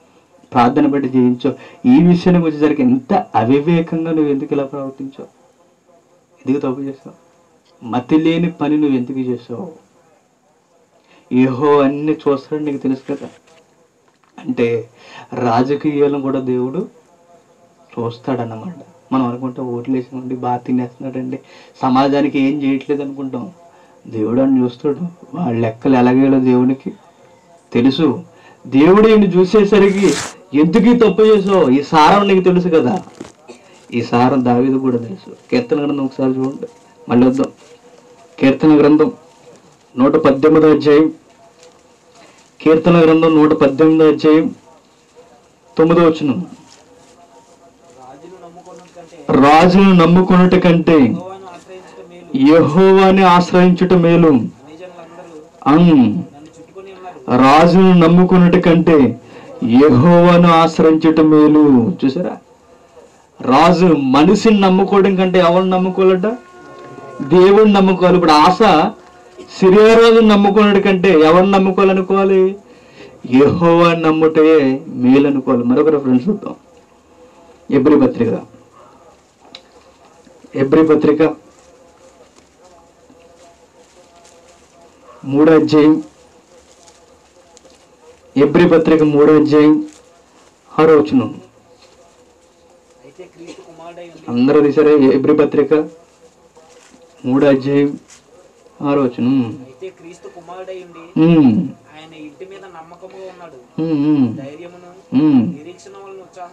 ఆరు మూడు చూడదాముడు దేవుడు సెలవిచ్చిన ఎడల మనం అలాగు చేయదు మీది కదా రెఫరెన్స్ ఏదో ఉంటుంది ఉమ్, ఇబ్రి పత్రిక పదకొండు ఆరు చూడండి ఒకసారి తర్వాత మళ్ళీ వద్దాం. విశ్వాసం లేకుండా విశ్వాసము లేకుండా దేవునికి ఇష్టడై ఉండుట అసాధ్యము. దేవుని యొద్దకు వచ్చేవాడు ఆయన ఉన్నాడని తను ఎదుకు వారికి ఏముంది విశ్వాసం లేకుండా దేవునికి ఇష్టడై ఉండట అసాధ్యము. విశ్వాసం అంటే నమ్మకం. జరుగుతున్న పరిస్థితులను బట్టి రాజు దేవుని మీ నమ్మకనకు పోయేసరికి ఇప్పుడు రాజు ఎవరికి ఇష్టడిగా ఉండకుండా పోతాడు చెప్పండి? దేవునికి ఇష్టడుగా ఉండడు నువ్వు దేవుని మీద నమ్మకం లేకుండా పరిస్థితులను పరిస్థితులను ఆశ్రయిస్తూ ఎవరినో మానవ బలాన్ని నమ్ముకుంటే దేవుడి విశ్వాసం ఏమవుతుందో చెప్పు. నమ్మకం సరళిపోతుంది. నీ నమ్మకం ఎప్పుడైతే సన్నగలుగుతుందో దేవునికి ఇంక ఉండడు. అసాధ్యం. ముప్పై ఏళ్ళు ఉన్నాయి కదంటే ఇంక లేవుక. నువ్వు విశ్వాస విషయంలో బలంగా లేవు కనుక ఏమైపోయావు దేవునికి ఇష్టడై ఉండుట అసాధ్యం. ఆ ఎప్పుడైతే అసాధ్యమైన జరిగిందో వెంటనే రాజ్యంలోకి ఏమొస్తుంది తెలుసా? చూద్దాం. దండోత్తాంతాలు దండోత్తాంతాలు అంటే ఏంటి? అది చెప్పలేదు. దండోత్తాంతాలు అనే పదానికి ఎబ్రి భాషలో భయో యహోమి అనే ఒక పదం ఉంటుంది. అంటే దిన దినం జరుగు చర్యలు. అది దిన వృత్తాంతములు. ఎవరి దినదిన చర్యలు? యూదుల రాజుల దినదిన చర్యలు. దినదిన చర్యలు. ఆ దినదిన చర్యలు క్రోడీకరింపబడి రాయబడినదే దినవృత్తాంతాలు రెండో గ్రంథం. ఆ రెండో దినవృత్తాంతాలంతా తెలియజేసేదే ఈ దినదిన చర్యలన్నీ రెండో దినవృత్తాంతాలు యూదులకు సంబంధించినవి. యూదుల రాజులకు సంబంధించిన మొదటి దినవృత్తాంతాలు ఇస్రాయేల్ రాజులకు సంబంధించింది అంటే దినదినం ఏ చర్య జరిగింది అన్నది లిఖింపబడిన చరిత్ర గ్రంథమే ఈ రెండో దినవృత్తాంతాలు మొదటి దినవృత్తాంతాలు ఓకే రండి. పదిహేను అధ్యాయం పదహారు పదహారు అధ్యాయం. పదవచ్చున్నట్టే.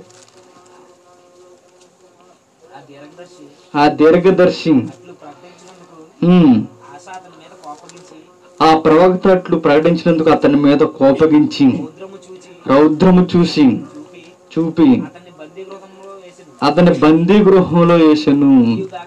ఏం చేశాడు? అతని మీద అలా చెప్పినందుకు ప్రవక్తను ఏం చేశాడు? బందీ గృహంలో వేసను.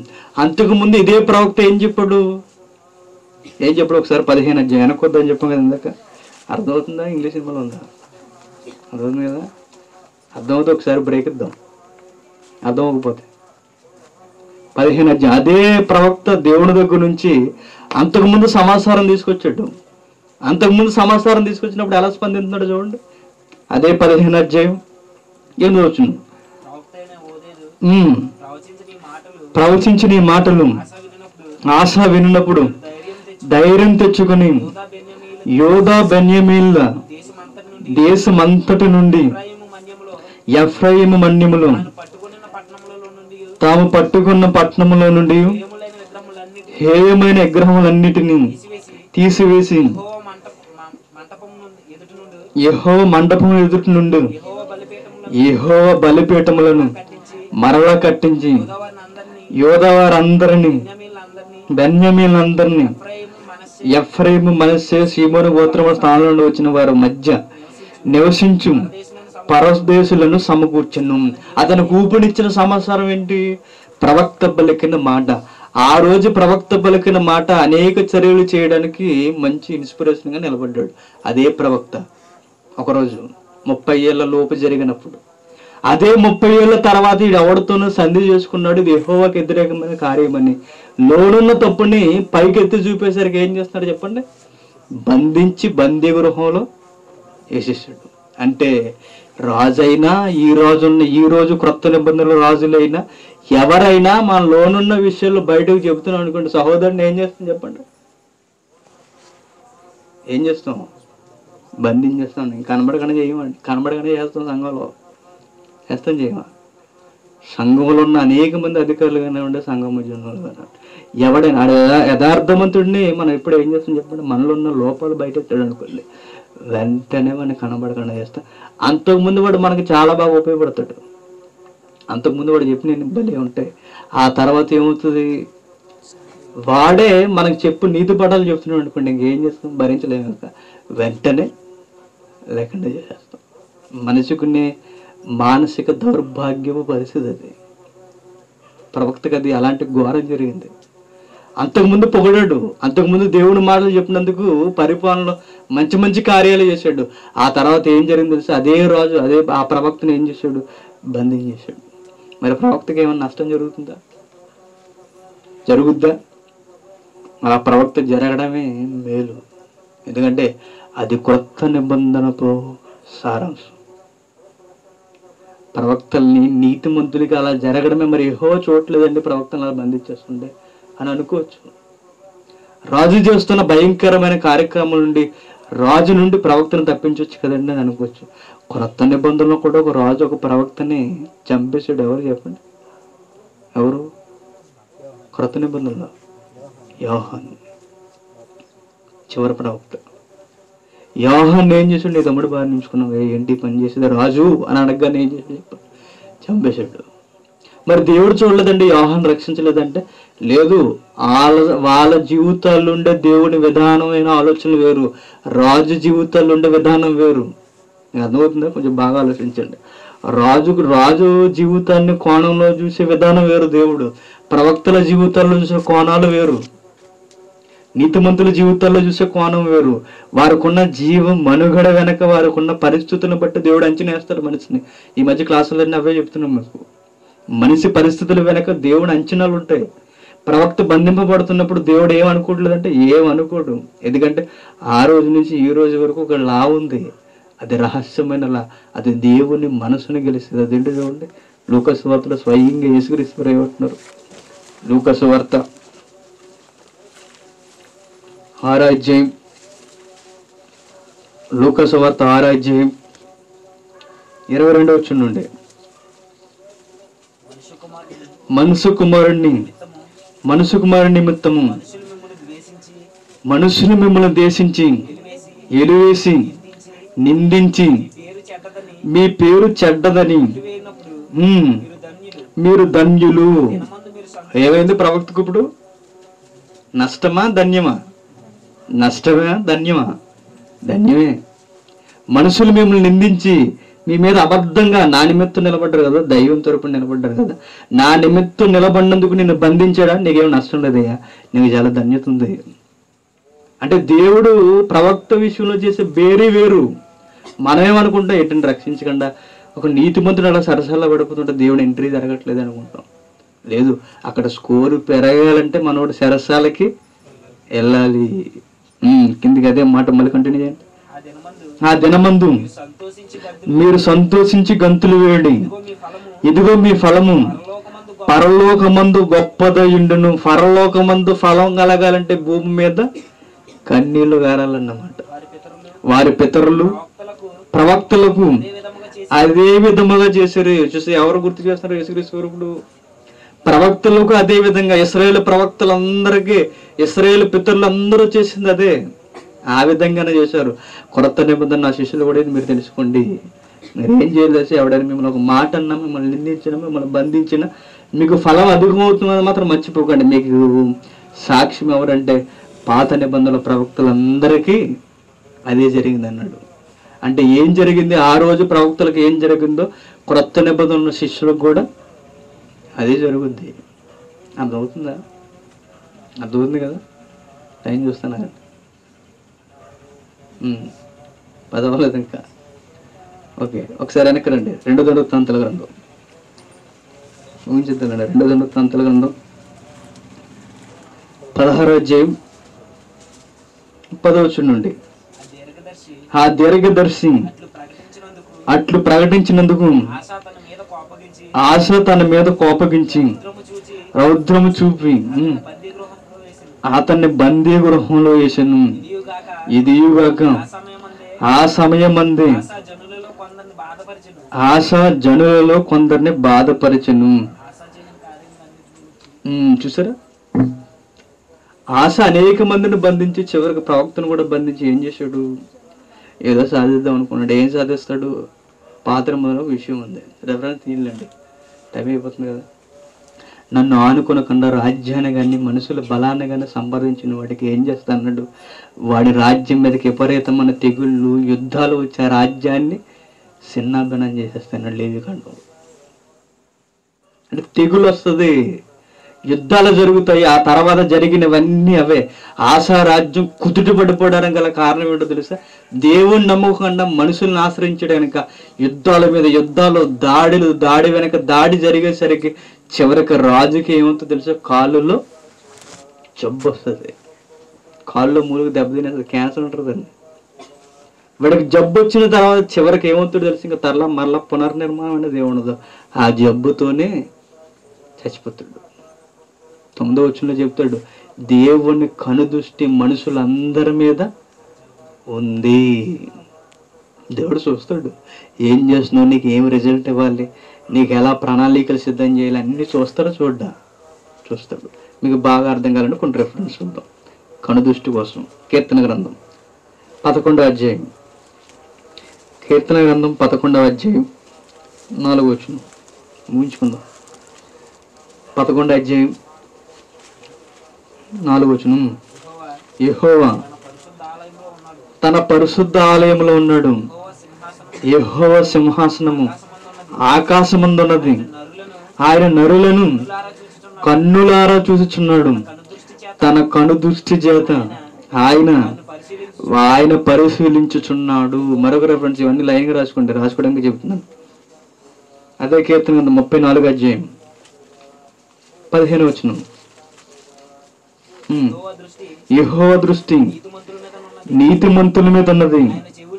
ఆయన చెవులు ఆయన మరలకు వృగ్గి ఉన్నవి ఏమన్నాయి చూసారు? అంటే దేవుడు బైబిల్లో ఏ వచనాన్ని మీరు కదిపినా సమస్తాన్ని దేవుడు పరిశీలిస్తాడు. ఎరిమే గ్రంథం. ఎరిమే గ్రంథం. ముప్పై రెండు అధ్యాయం. ఎరిమే గ్రంథం ముప్పై రెండు అధ్యాయం.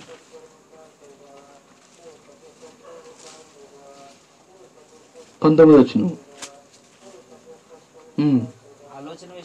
ఆలోచన విషయంలో నీవే గొప్పవాడు మేలు జరిగించే విషయంలో శక్తి సంపన్నుడు సత్య సంపన్నుడు వారి క్రియాఫలములను బట్టి అందరికీ ప్రతిఫలం ఇచ్చుటకై. నరపుత్రుల మార్గములన్నిటినీ. నీవు కన్నులారా చూచుచున్నావు. నరపుత్రుల మార్గములన్నిటిని దేవుడు కన్నులారా చూస్తాడు. అందులో రాజకీయాలను కూడా చూస్తాడు. ఆ రాజకీయంలో ఒక వ్యక్తి ఆశ మతి తప్పిన పని.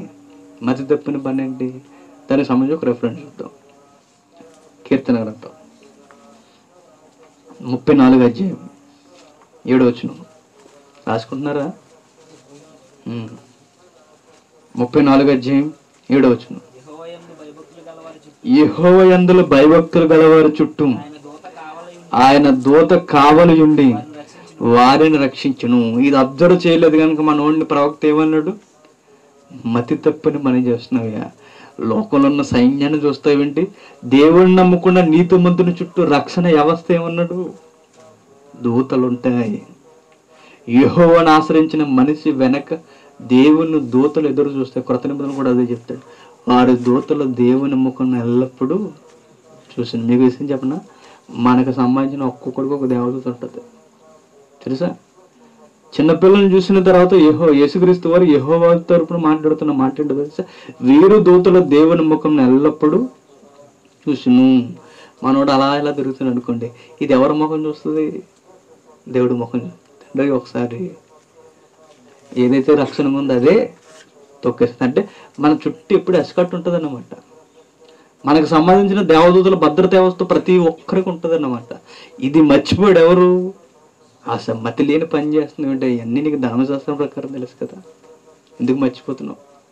మతి లేని పనులు ఎందుకు చేస్తున్నావు అన్నాడు ప్రభుత్వం అందుకే ఆ పదాన్ని ఉపయోగించాడు.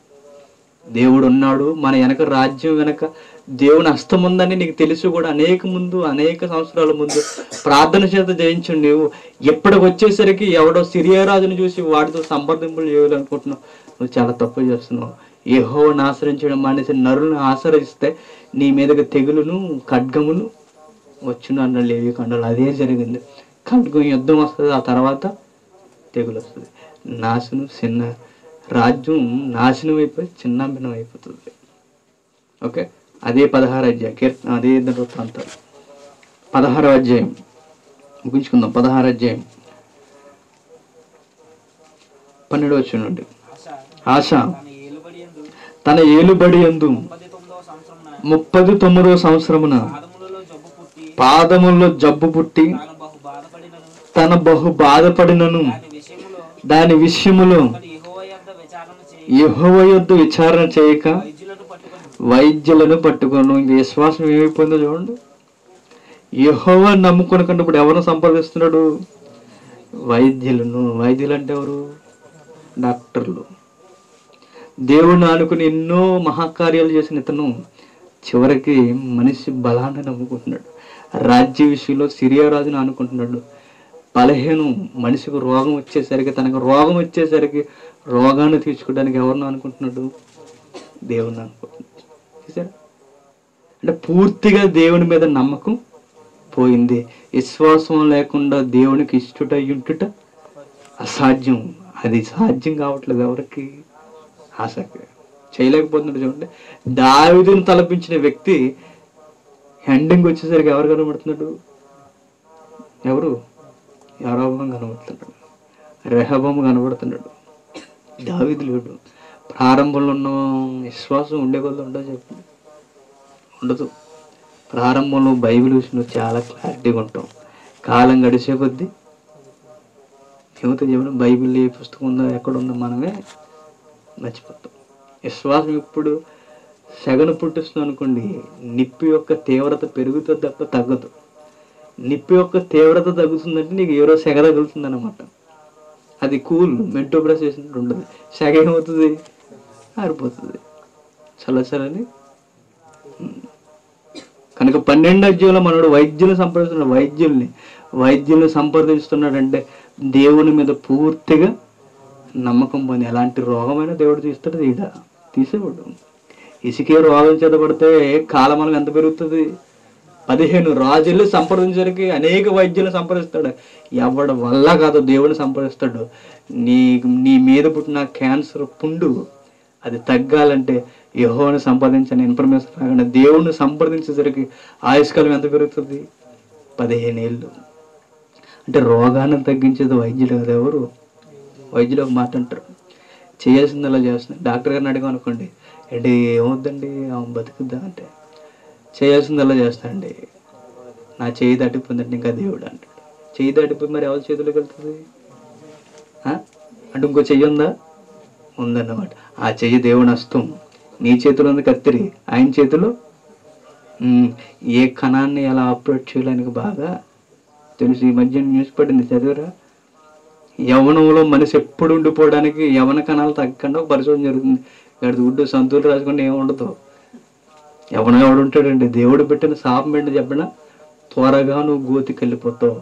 నన్ను నమ్ముకొనలేదు కనుక నువ్వు ఏదైతే ఆధారం చేసుకున్నావు అదంతా గదించిపోద్ది నీ అందం అంతా ఏమన్నాడు? గడ్డిపు. ఉదయం చక్కగా కనపడుతుంది గడ్డిపు. సాయంత్రం అయ్యేసరికి వాలిపోతుంది. నీ సౌందర్యం కూడా అంతే. మేము కణాలను పెంచేస్తామండి కణాలు పెంచేస్తాం యవన దశను అలా పెంచేస్తామండి యవనాన్ని కనిపిస్తూ వయసుని దాచేస్తాను ప్రకటించిన ఏం జరగదు. మనోడు కూడా వైద్యం సంపాదిస్తున్నాడు ఏం జరగదు. అందుకే ఎరిమియా గ్రంథం ఒక మంచి మాట ఉంటుంది. ఆ వైద్యుని సంబంధించి చూడండి. ఎరిమియా గ్రంథం పదిహేడవ అధ్యాయం. ఎరిమియా గ్రంథం పదిహేడవ అధ్యాయం. ఐదో వచ్చిన నుండి. ఐదో వచ్చిన యెహోవా ఎలాగ సెలవిచ్చున్నాడు నరులను ఆశ్రయించి ఉమ్. శరీర శరీరులను ఎన్ని వచ్చినాడు తమ్ముడు? ఎనిమిది ఏడు? పదిహేడా? ఒక చదువు.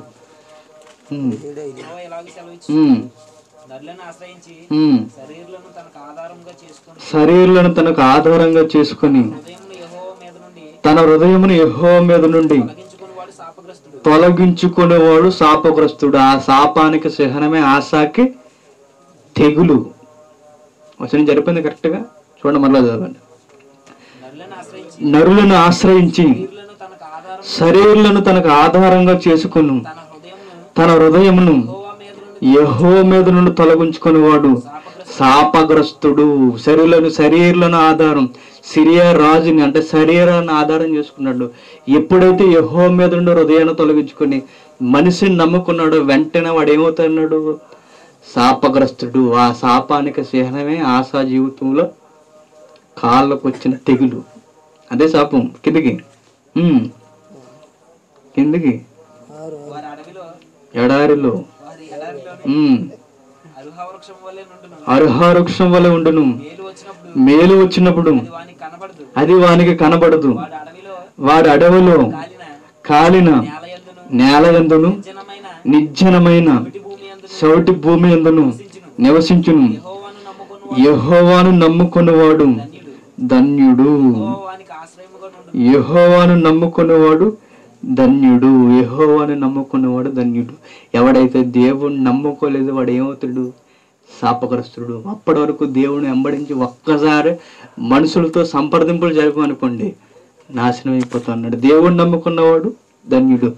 ఆడే ధన్యుడు? మీ గుర్తురాలు ఒక విషయం కీర్తన గ్రంథం మొదటి అధ్యాయంలో ఉంటుంది. తీకండి వాడి నీటి కాలువల యొద్ద నాటుబడిన మొక్క వల్ల నిరంతరం ఫలించును. అది ధన్యత. దేవుళ్ళు ఉన్నవాడి జీవితం సమాజానికి కనువింపు ఉంటుంది. దేవుడిని నమ్ముకున్న తర్వాత పడిపోయిన జీవితం దౌర్భాగ్యంగా ఉంటుంది. అది ఆశ. ఇంకొక వచ్చిన చూద్దాం యశ గ్రంథం ముప్పై అధ్యాయం యేసుక్రీస్తు కనబడుతుంది చూడండి. యశ్య గ్రంథం ముప్పై అధ్యాయం మొదటి రెండు వచ్చినారు యెహోవా లోబడని పిల్లలకు శ్రమ. పాపమునకు పాపమును. నన్ను అడగక. ఆలోచన చేయుదురు. నా ఆత్మ నియమింపని. నా నోటి మాట విచారణ చేయక. పరో బలము చేత తమ్మును తాము బలపరుచుకుంటకు అంటే వైద్యుల చేత మానవుల చేత తమ్మును తాము బలపరుచుకుంటకు నా మాట వినకుండా నా ఆత్మను సంప్రదించకుండా చూస్తున్న వాడికి ఐగుప్తి నీడను సరణజొచ్చుటకు ఐగుప్తునకు ప్రమాణం ప్రయాణం చేయుదురు. ఫరో వలన కలుగు బలము మీకు అవమానకరం అవును అవమానకరమవును ఫరో అంటే ఇక్కడ ఆఫర్ అనుకోకండి. అక్కడ ఎగ్జాంపుల్గా అతను వాడుతున్నాడు అంతే. దేవుణ్ణి మానేసి మనుషులు బలాన్ని నమ్ముకుంటే ఏమంటుంది ఇక్కడ? మొత్తం మీకు అవమానమే మిగులుతుంది ఏమీ సాధించరు. నిజనా యేసుక్రీశ్వరుని చూద్దాం. అదే ముప్పై ఒకటి అధ్యాయం. ఉమ్. మొదటి రెండు వచ్చినాలు దేవుని ఉమ్. యెహోవా యొద్ద విచారింపకయు సహాయము నిమిత్తము ఐగుప్తునకు వెళ్ళుచు వెళ్ళుచు గుర్రములను ఆధారం చేసుకుని వారి రథములు రౌతులు బలార్జులనియు వారిని ఆశ్రయించి వారికి శ్రమ ఇది కూడా రాసుకోండి ఇంపార్టెంట్ మన యేసుక్రీస్తు కావాలి. అరవై రెండు అధ్యాయం. అరవై రెండు అధ్యాయం మొదటి వచ్చును సియోను నీతి సూర్యకాంతి వలె కనబడి నీతి సూర్య కాంతి వలె కనబడే వరకు దాని రక్షణ దీపం వలె వెలుగుచుండు వరకు సియోను పక్షమందు నేను మౌనంగా ఉండను. ఎరుసలేము పక్షమందు నేను ఊరకుండను. ప్రవక్త ఆవేదన యేసుక్రీస్తుకు చిహ్నం కనబడుతుందట? సియోని నీతి సూర్యుని వల్లే కనబడే వరకు నీతి సూర్యుని వల్లే కనబడే వరకు ఈ సియోని పట్టణం లేదా ఎరుసలేం పట్టణం లేదా యూదులు ఆనుకున్న ఈ మహా సామ్రాజ్యం ఇదంతా నీతి కాంతి వలె కనబడే వరకు నేను ఊరకొని అన్నాడు పట్టణం కాంతిలా కనబడడం ఏంటి? దేశం అంటే మట్టి కాదు?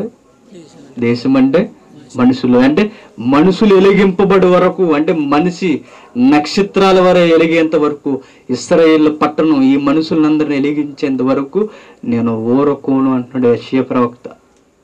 ఆ యశ్య ప్రవక్త అనుకున్న వ్యక్తే అభిషక్తుడైన యేసు. నేను ఓడుకోను. సియోన్ అంటే ఎరుసలేం ఎరుసలేం పడినాడు ఇజ్రాయేల్ రాజ్యం. ఆ రాజ్యం ఎలిగింపబడేంత వరకు నేను ఆగను. నా ఆవేదనతో ఎలా అయినా వెలిగిస్తాను? చూసారా? నెక్స్ట్ మాట. రక్షణ దే దీపం వల్ల ఎలుగుచుండే వరకు సియోను పక్షం ముందు నేను మౌనంగా ఉండను. దీపము వలె ఒకరోజు యేసుక్రీస్తు అంటాడు మీరు లోకానికి వెలుగై ఉన్నారు. మీ వెలుగు సమాజానికి కనబడేటట్టు దీపస్తంభం మీద మీ వెలుగును ప్రకాశింపనీయుడి అంటే లోకానికి వెలుగెవరు మనమే. షియోన్ అంటే దేశం కాదు షియోన్ అంటే మనుషులు. యశ్వదాభిరామి నురా ఏమన్నది మీకు గుర్తుందా? యశ్వదాభిరామి నురా ఏమంటే ఏంటి?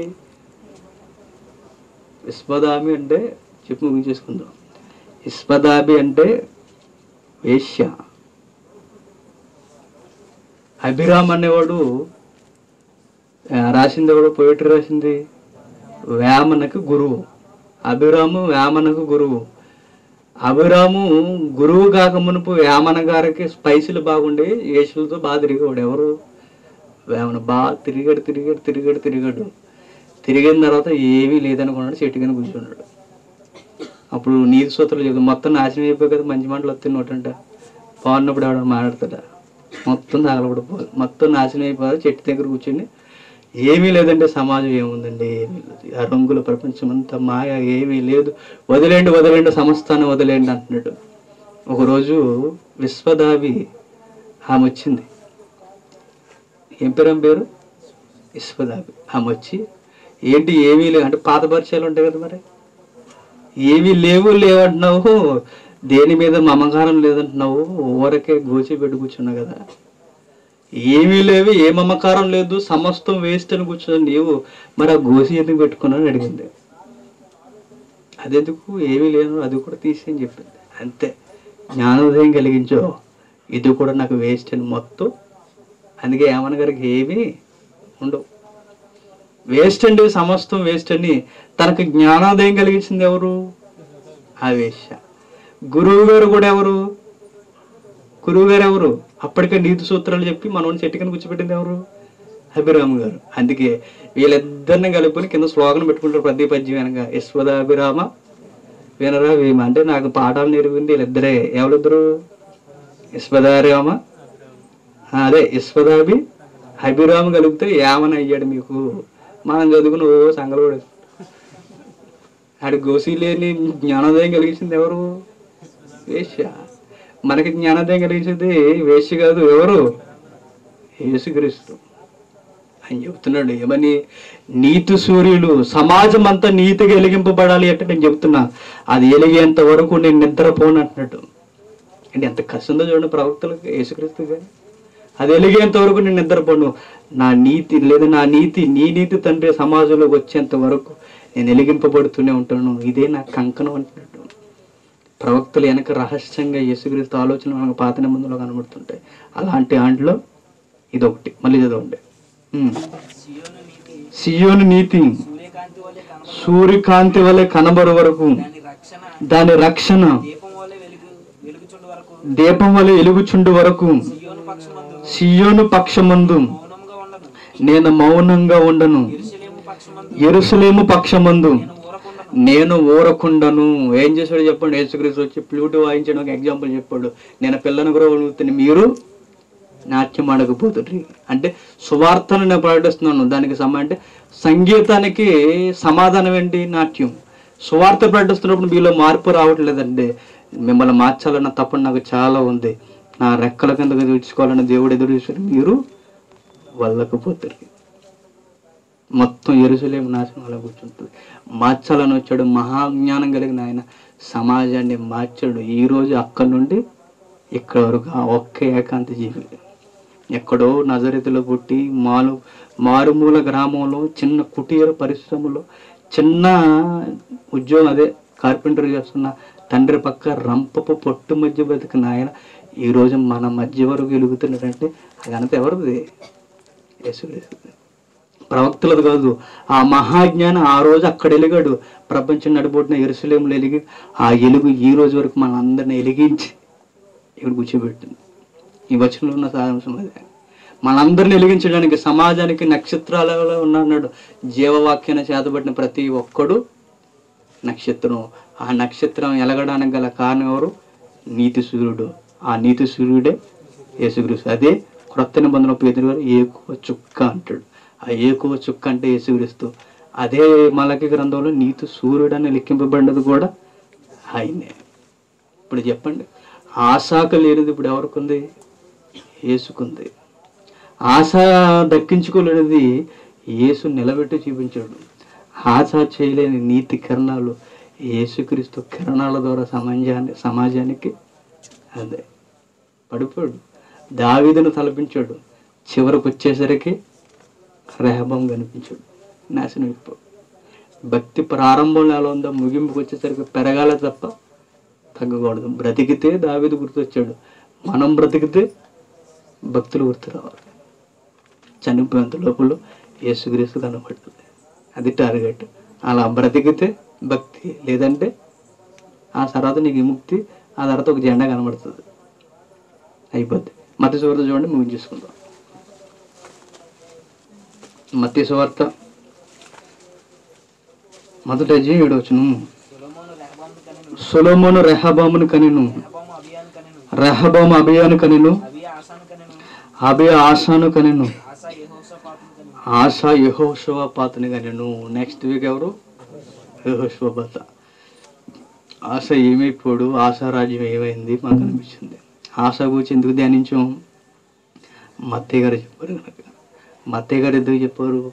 యేసుక్రీస్తు జననం ఖచ్చితంగా జరిగింది కనుక ఆ జరిగిన చరిత్ర ఆశా చరిత్ర చరిత్రలో ఉంది కనుక ఆయన జననం మరణం మధ్య పరిపాలన సౌలభ్యం ఎలా జరిగిందో ధనించాం నలభై ఏళ్ళ కాలం ముప్పై ఏళ్ళ దేవుని దగ్గర ఉన్నాడు. మిగిలిన పది కాలం దూరం అయిపోడు చచ్చిపోడు. అది ఆ వ్యక్తిని మత్తయ్య గారు మెన్షన్ చేశారు. ఆ నెక్స్ట్ వచ్చే రాజు యహోషపాత్ ఆయన ఏం చేశాడు నెక్స్ట్ వీక్ చూద్దాం. ప్రార్థన చేసుకుందాం. முயற்சி பண்ண